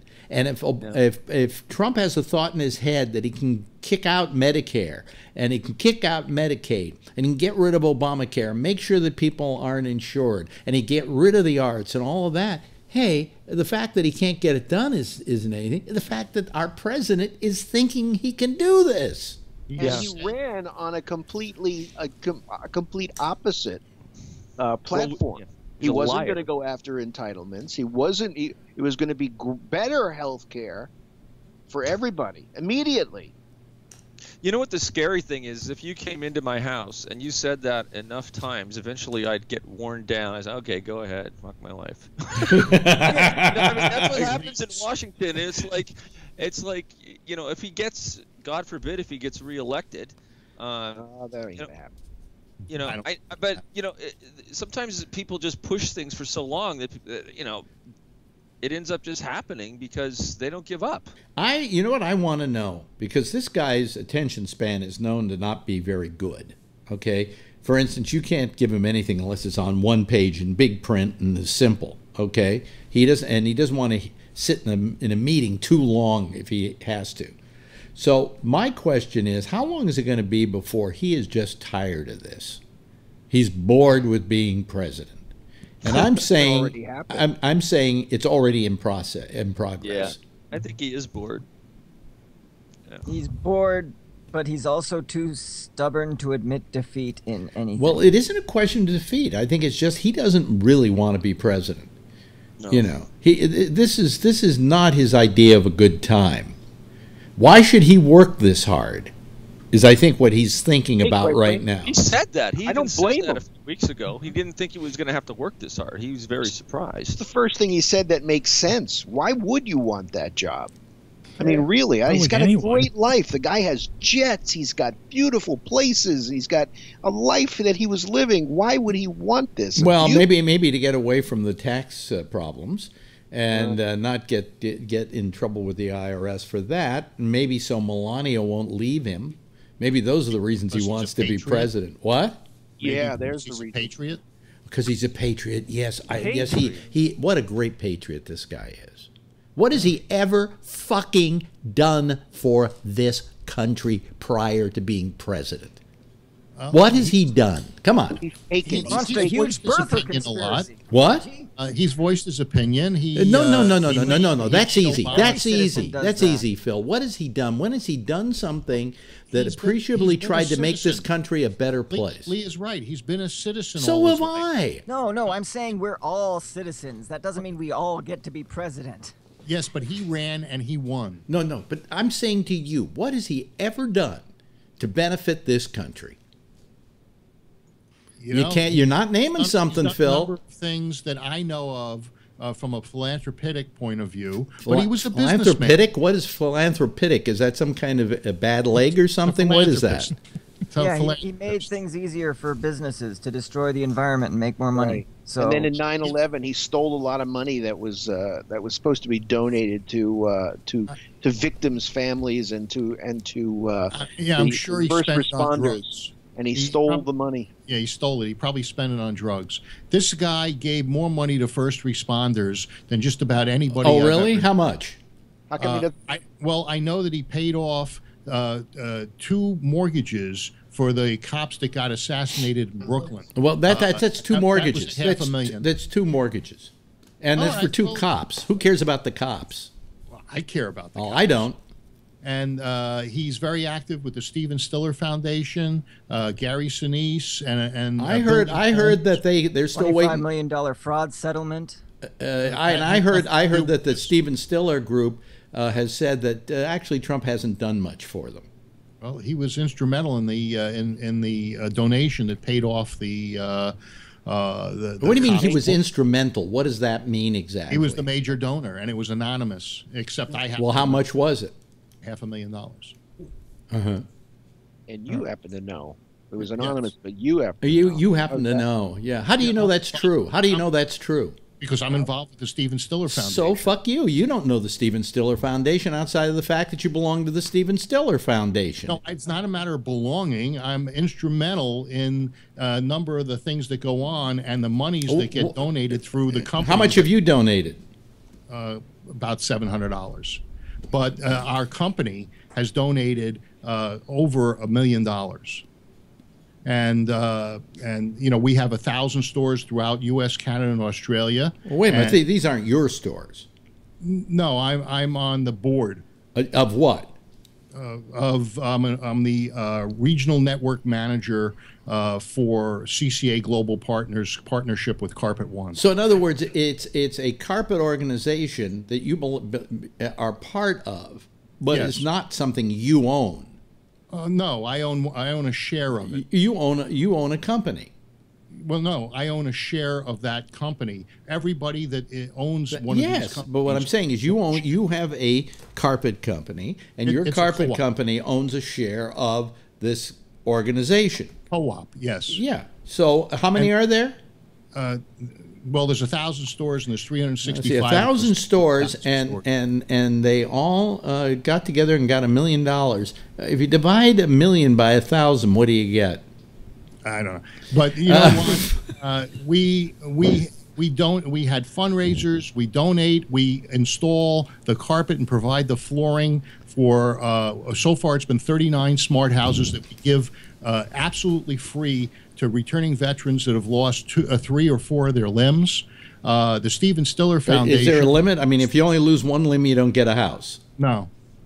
Uh, Well, that's kind of so- that's kind of chintzy of you. I think losing anything in a war, uh, including your mind, probably should warrant a free families- rug at listen, least. These families uh, are are put in a very difficult position, having to care for. Uh, and why the were they put in that difficult position, Phil?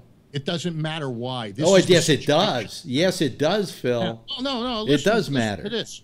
It, it- what matters is that these people are need to live a normal life. We build these houses so that they are specifically built for. They're each, never going to live a normal life because their government that loves them so wonderfully picked them up, put them somewhere else in the line of fire I where they tell you- lost these limbs and then brought them back and didn't do shit I for can them. tell you, uh, Patrick's life, for instance, would be a lot easier if he had a shower that he could just roll into, and uh, and he wouldn't have to worry about getting in and out of a chair. These houses are set up so that, uh, let's say, the wheelchair uh, the, has a sensor in it, and the doors open and close as the wheelchair Phil, approaches. we're not talking doors. about technology here. What we're talking about, we let's get back to where we started. right, well, you still haven't told me. You ha- still haven't I'm told part- me what Donald Trump ever did for his country. He didn't take military service.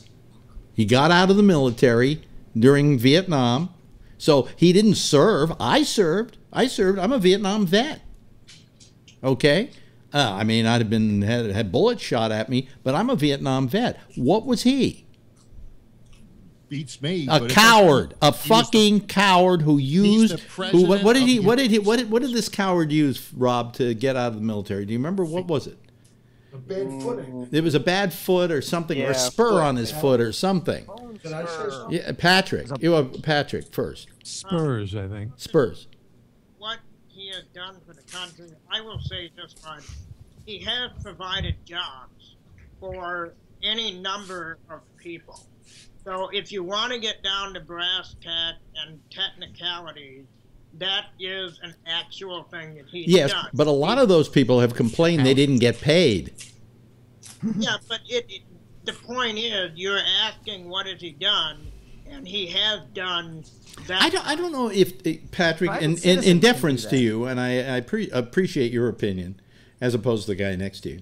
Uh, I um, uh, just because a guy does something like hire people because it's in his own best interest because he's not going to get those buildings built unless he hires people to do it.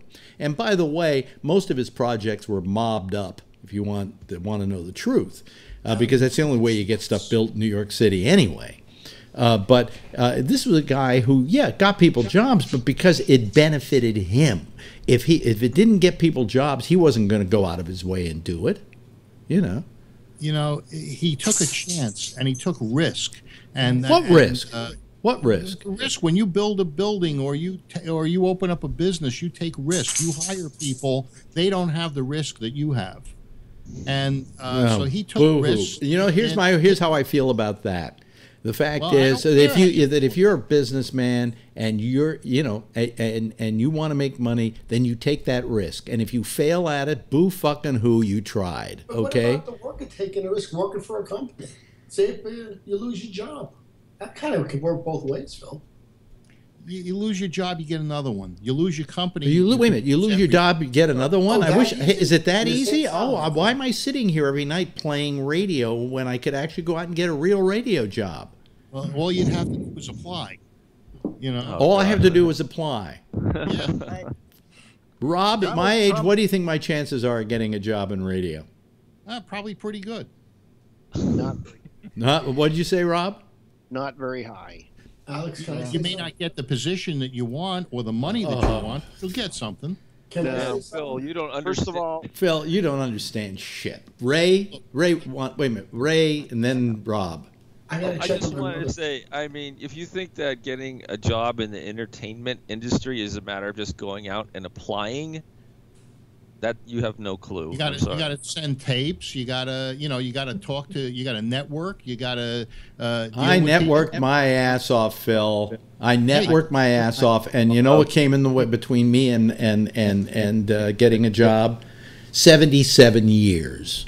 Well, That's you know, what became hey, between look, me and getting I a almost, job. I almost had a position for you, and you know the guy died, just like you were telling. Uh, uh, uh, what's his name? No, we Um, that that only went to the first level. It never went to another level. But yes, a guy you introduced me to who knew who I was at KGO in San Francisco dropped dead of a heart attack. That's Yeah. the Well, that's the Bennett curse. Yes, Lee. Oh, can I Donald something? Trump has proven that any man can make it in America with a little Right. hard work, a $200 m- million dollar inheritance, and wonderfully lenient bankruptcy laws. Yes, exactly, Lee. Exactly. Yes, uh, yes, Pat, uh, Anthony. Oh, I don't want to be. I gotta check on my mother, Chris. She's a little upset. Well, we can't see you anyway, so go check on her. I'm gonna log off though. Is that okay? You're going to log off? Okay, if you want to log off, I'll see you log tomorrow off. night. Okay, bye. I can. Good night. So he, he he's threatened to call tomorrow night. It won't be a won't be a Tony free night.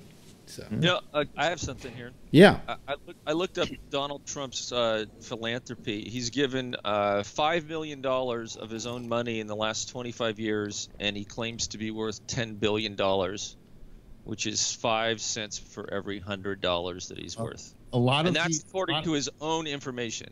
Well, a lot of what he's given was given uh, anonymously. Phil, Phil, anonymously or not his anonymously, own money. His own money. his own money. They say Uh, Five- five What's wrong million with the out of the ten Donald billion Trump he donated his supposedly money owns. Anonymously. You know, Hmm? Say again. What's Uh, wrong with well, the if- phrase Donald Trump donated money anonymously? How does that told phrase you, work? I happen to have been privy to some information that I just gave oh, you. I see. Okay, yeah, you Did really you are, Phil. Just, Uh, did you just belay confidential information? Yes, I did. Did but I, but uh, you know, uh, it's okay if it comes from me. it's not against the law of the president. That's right. Here, here comes Brian. Uh, wait a minute. Let me put him in there. anonymous money was from some other, yeah, from these other uh, things that he had nothing to do with. It wasn't his own money, according to this thing. But you know, whatever. That's true. Might He be- does enjoy putting his name on other people's stuff. On other people's money. You mean, you mean is wasn't it his foundation that spent the money on Yeah. his portrait yeah, yes. yeah. Yeah, Spent kind of uh, stuff. spent There twenty you million go. dollars to buy a portrait. of himself. You know, uh, when my kids were in school, they uh, they would they would auction off things that the kids made, a bench made out of tiles that the kids painted and so forth. And some of the parents, not me, spent two thousand, three thousand, five thousand dollars on one of these benches. Uh, why? Because the money they got the bench, but the money went Phil, Phil, come on. He bought he bought a picture of himself to put up in Mar-a-Lago that was a horrible painting to begin with, and it cost 20 mil, 20 what twenty thousand dollars, and that came out of the foundation's money. right. But what what uh, received no, that no, money no, yeah. was a charity. Most likely, it was a charity. You, you, Just like the school system. Why- This is a man who is riddled with faults. Why can't you say he is, but he's the best thing we got right now, and use that as your excuse? Well, I, I like him. You know, I, I don't I, think I can't believe this, Phil. I, you- you're a smarter person than that. I can't imagine you're that stupid. Uh, I- you know, I'll, Well, I'll be, I guess I uh, am. Yeah. I like Bernie Sanders, but I'm not one. Uh, but I'm always one to uh, criticize the fact that towards the uh, run up to the uh, general election, that Bernie Sanders is guilty of having gaslighted for Hillary Clinton. He got screwed by Hillary Clinton. Oh, wait a minute. Hold on a second. Uh, Brian, can you turn your camera on? Oh, well, here we go again on this shit. Well, if, if you can't, then don't worry about it. But, you know. I keep clicking it on and off. There you are. There we go. you know, Podesta and and and the whole thing was a setup. They, you know, they they did and and with these, uh, what was the uh, delegates, the special delegates. Uh, they they they had the screw for uh, Bernie Sanders from the very beginning, and nobody is upset. Nobody Hey, sees. nobody that. is sitting here think- sa- it's saying we love Hillary, okay? I, I think that was awesome. And I don't think it was the screws for Bernie as much as it was everybody felt it was Hillary's time. Yeah, but they made sure Bernie didn't get the time. They I they made agree. sure- I agree. I, I agree. Do you know Phil. what's interesting about Bernie Sanders is he's going around the country making speeches and gigantic crowds show up for him. Oh yeah. To this day, you would think Huge. you would think after the election was over, he'd go over in his corner and Hillary go in her corner and Trump would be president. And every- he no, he's still out there giving speeches and people by droves. They're selling out arenas. Well, Alex, there was He's a still got a Facebook job. that I liked. I just wanted to say real quick, there was a Facebook meme that I liked on uh, uh, not long after the general election results, and said that uh, you notice how in the meme it said, meme it said, you'll notice how after the election, um, Bernie Sanders has been continuing to crusade and beginning and, and continuing to deliver Yeah. speeches Yeah. and continuing to gather support, whereas Hillary Clinton, much like a thief, has snuck away in the night and Yeah. Uh, Jeff, you had your hand up. fraud as yeah, far as I'm I'm always uh, surprised at the same thing that that uh, he is willing to continuously help the Democrats, even though he isn't one. Yeah, well, I mean, Well, he he had he, he he well he caucused with them because uh, you know hi- their, their philosophy is closer to what he believes than uh, uh, you know than uh, what, Or what he may start the Democratic version of the Tea Party. He Uh, could there already is one. I thought the coffee party. I thought. really. Well, that's the first I've heard of it. That's kind of cute, never of actually. Yeah. Uh, here's the thing with with You got Even a a Tupperware podcast. party. I, I would hate to see uh, the Democrats have a Tea Party, just because it's very divisive. You know, then you're taking what the, the what you've got, you're chopping it up some more. It's already Uh, been divisive. The and fact that Hillary divisive played right funny now. games to get to get one up over uh, Bernie Sanders and people of his uh, persuasion, of his ideology. let me the, be the division was there to begin with. All, M- we're just let me- doing- let me all I would be doing would be just identifying it. Let me just say. it. Let me just say this. Who do you think? Okay, would have been that Donald Trump would have rather gone up against Hillary, Hillary, or Bernie absolutely. or Bernie. Hillary, definitely. I don't think Yeah, a Bernie lot more played to any anything but the East and the West Coast. Uh, you know, he only plays. Uh, he certainly wouldn't have played to the states that uh, Trump won. And Donald Trump does the New York Code.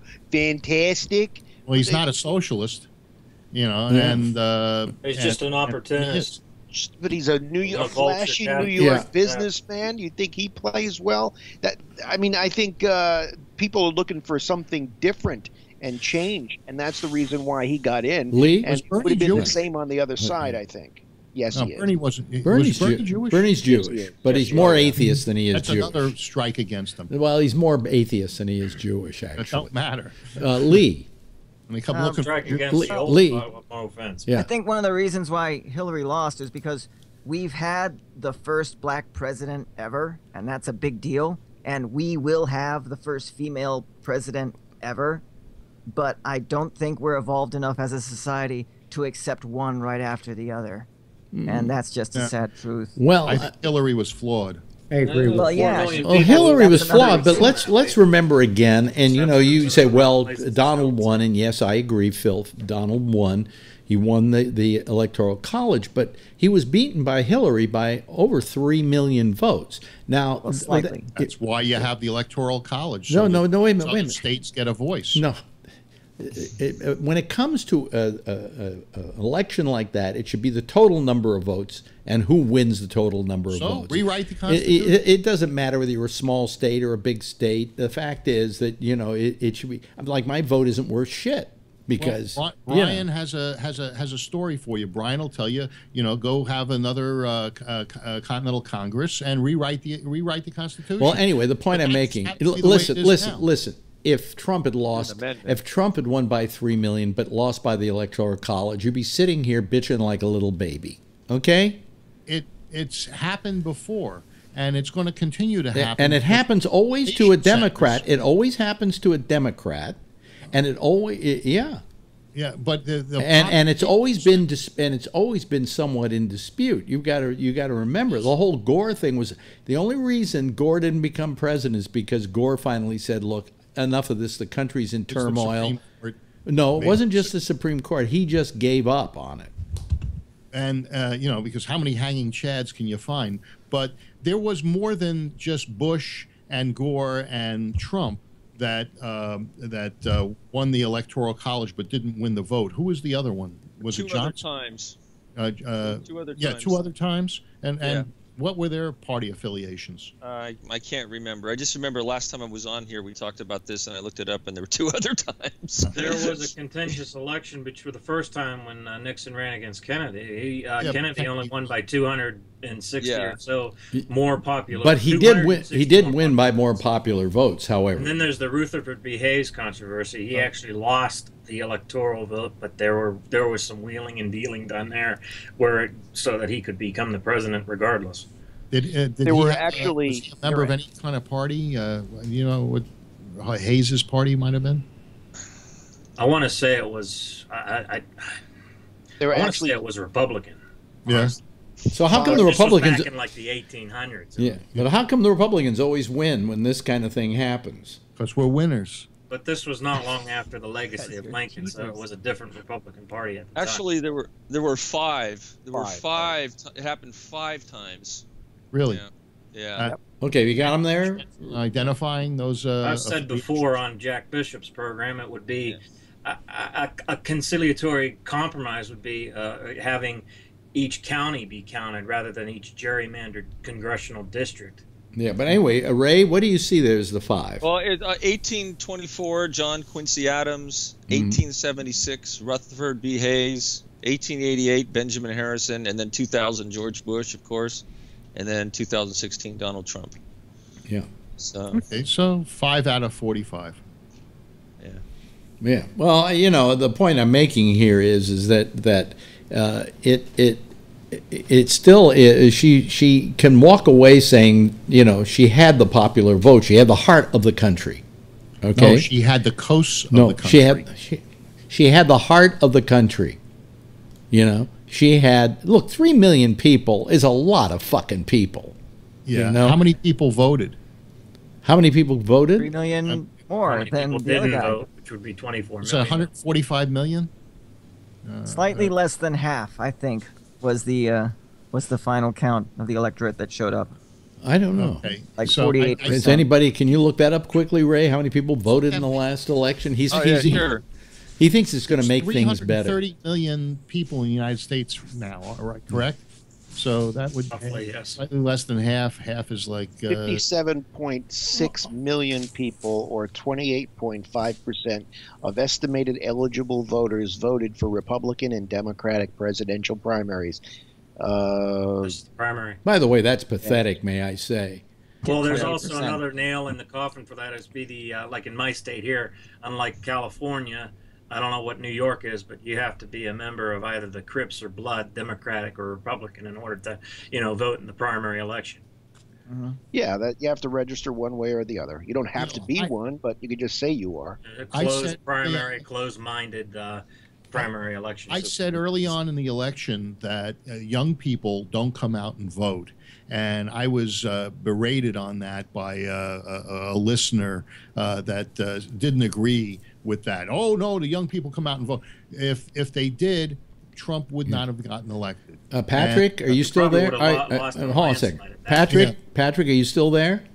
I'll give you that. I just can't turn the uh, camera on. Oh boy. Oh well. Just jump in like anytime you want to. though. I think it's pretty cool. Mm-hmm. Yeah. yeah. Anyway, um, oh boy, it's just so you know you had Bernie, you had all that youth vote. They didn't come out and vote. Uh, Hillary.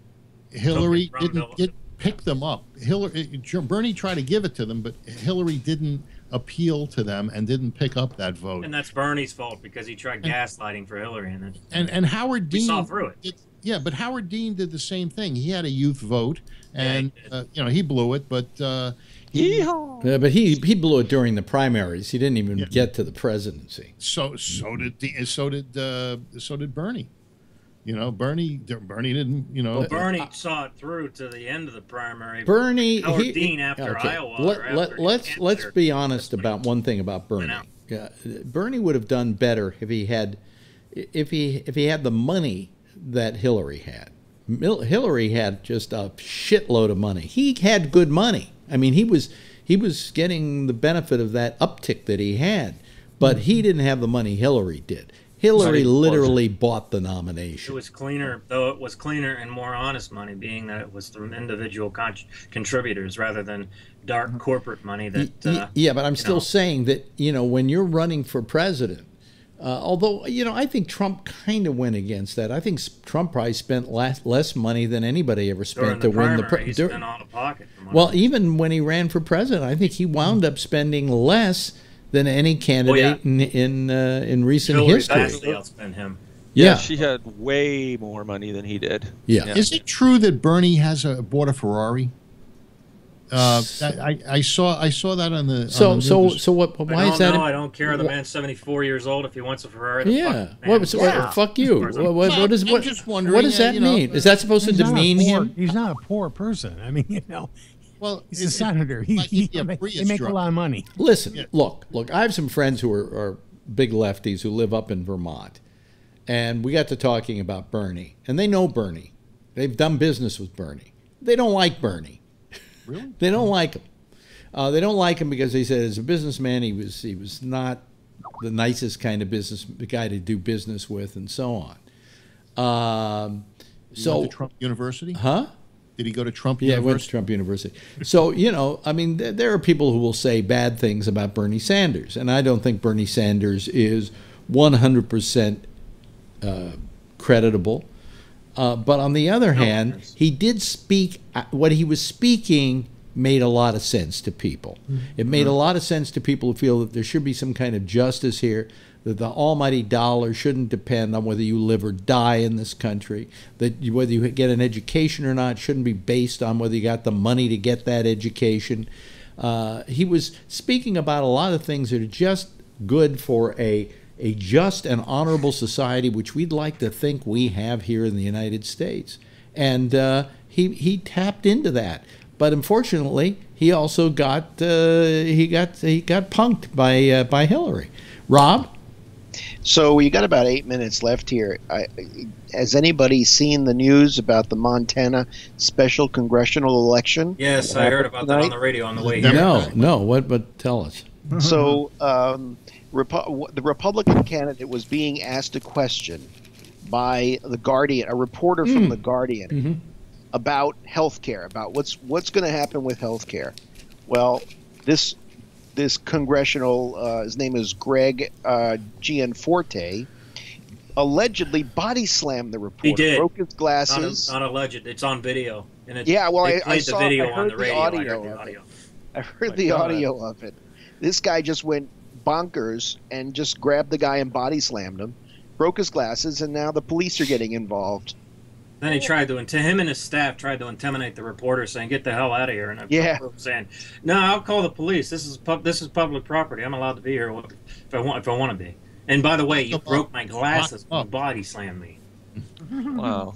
And, and uh, Unbelievable. Yeah, I saw that story before we went on the you. air tonight. Uh, look, I'm not going to hold against the Republicans every bad action that a Republican does, but there seem to be an awful lot of them lately. You I, know, I guess they may lose that seat, huh? well, you don't you don't know, you don't know. I mean, this is Mon- that's Montana. Yeah. Yeah. Yeah. What's scary lot is the that this is electorate might want to body slam a reporter occasionally. I the heard there problem were with two. This is the problem with this is it's bigger than just the incident. It it goes back to starts at the top when you got the president of the United States saying that the that that the media is the enemy, Mm-hmm. and it's and uh, I was lis- listening to CNN that, tonight. Yeah, I was listening to Don Lemon Alex on was saying CNN yesterday. tonight, and he was he was saying that he's been threatened and his family has been threatened. Just asking questions. Uh, uh, Patrick, are, into the Patrick, are you still there? the Wait a minute. foot. Hold, hold on a second, Phil. Uh, Patrick, are you still there? Yeah, I'm still here. Uh, anything you want to say about this? Since we can't see you raise your hand, and you're always very good about that. Um, no, I did the first that I had heard about it, so I was just sitting back and, and enjoying it. Nice shit. It's entertaining. Uh, Ameri- Sad entertaining. Yeah, yeah. American politics is. Uh, we're in a bad way. I think we're really in a bad way, and I know Phil's going to say, "Oh, you're just all doom and gloom," you know. But I mean, uh, we're- and I don't have to give a shit because hell, I'll be dead one of these days. You know, I'm not. I'm an older guy. Uh, how much am I going to be hurt by any of this? You know, I'll, I'll probably be gone before it could really hurt me. But I'm worried about some of you people, and I'm worried about a lot of our uh, younger listeners, if we have any, who are going to be affected by what's being done right now in Washington D.C. Uh, yes, Phil.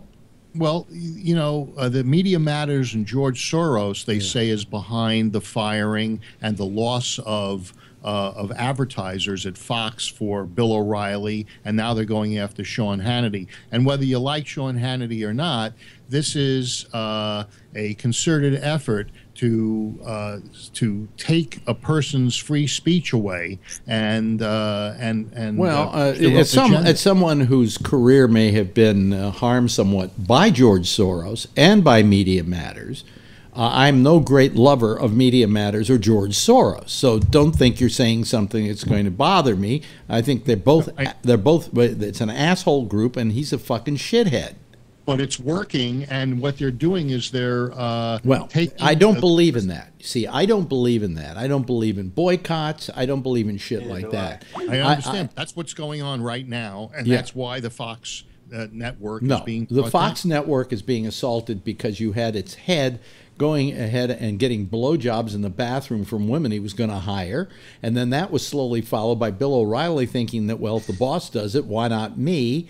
And then all of a sudden you've got uh, you've got a whole bunch of people coming forward and saying that was a bad situation to work in. not- Well, let me finish. It was a bad situation to work in.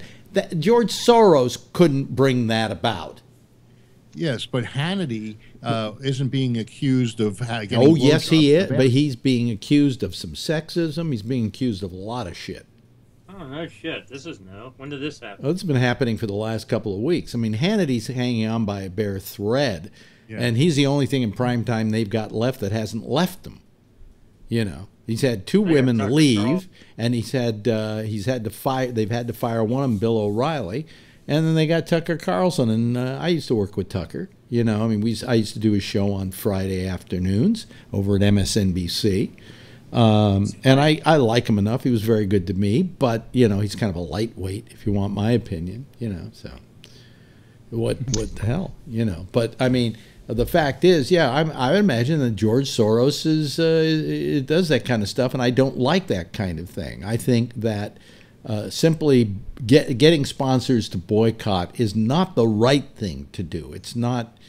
Um, uh, the right thing to do is to bring up the, the stuff that goes wrong and let the sponsors decide for themselves whether they want to advertise in that atmosphere. now that they've had a few successes, I think they're going to continue and they're going to and they're going to go after uh, everyone they can. No, they've been doing this for years, and they've had a lot of successes over the years on years. both sides. Yeah, and So- failures. and Yeah. and failures as well. So you know, you mm-hmm. can't. You know, I just I I think I it's time. Fox News had a good you had a good run. yeah. It's time. It's it's just over. Right, and I don't think they're going to be replaced by anybody in particular. I think that all the all those news networks are going to kind of flatline and spread the goods over everybody. Well, they'll Um, get the Trump News Network in there. uh, Trump News Network. Well, that's not going to happen now. Hey, Lee, thank you so much for joining us. We love having you here. You should call more often. Uh, All right, I'll Fi- do my best. Yes, please. Phil Meyer, thank you so much for keeping it crispy.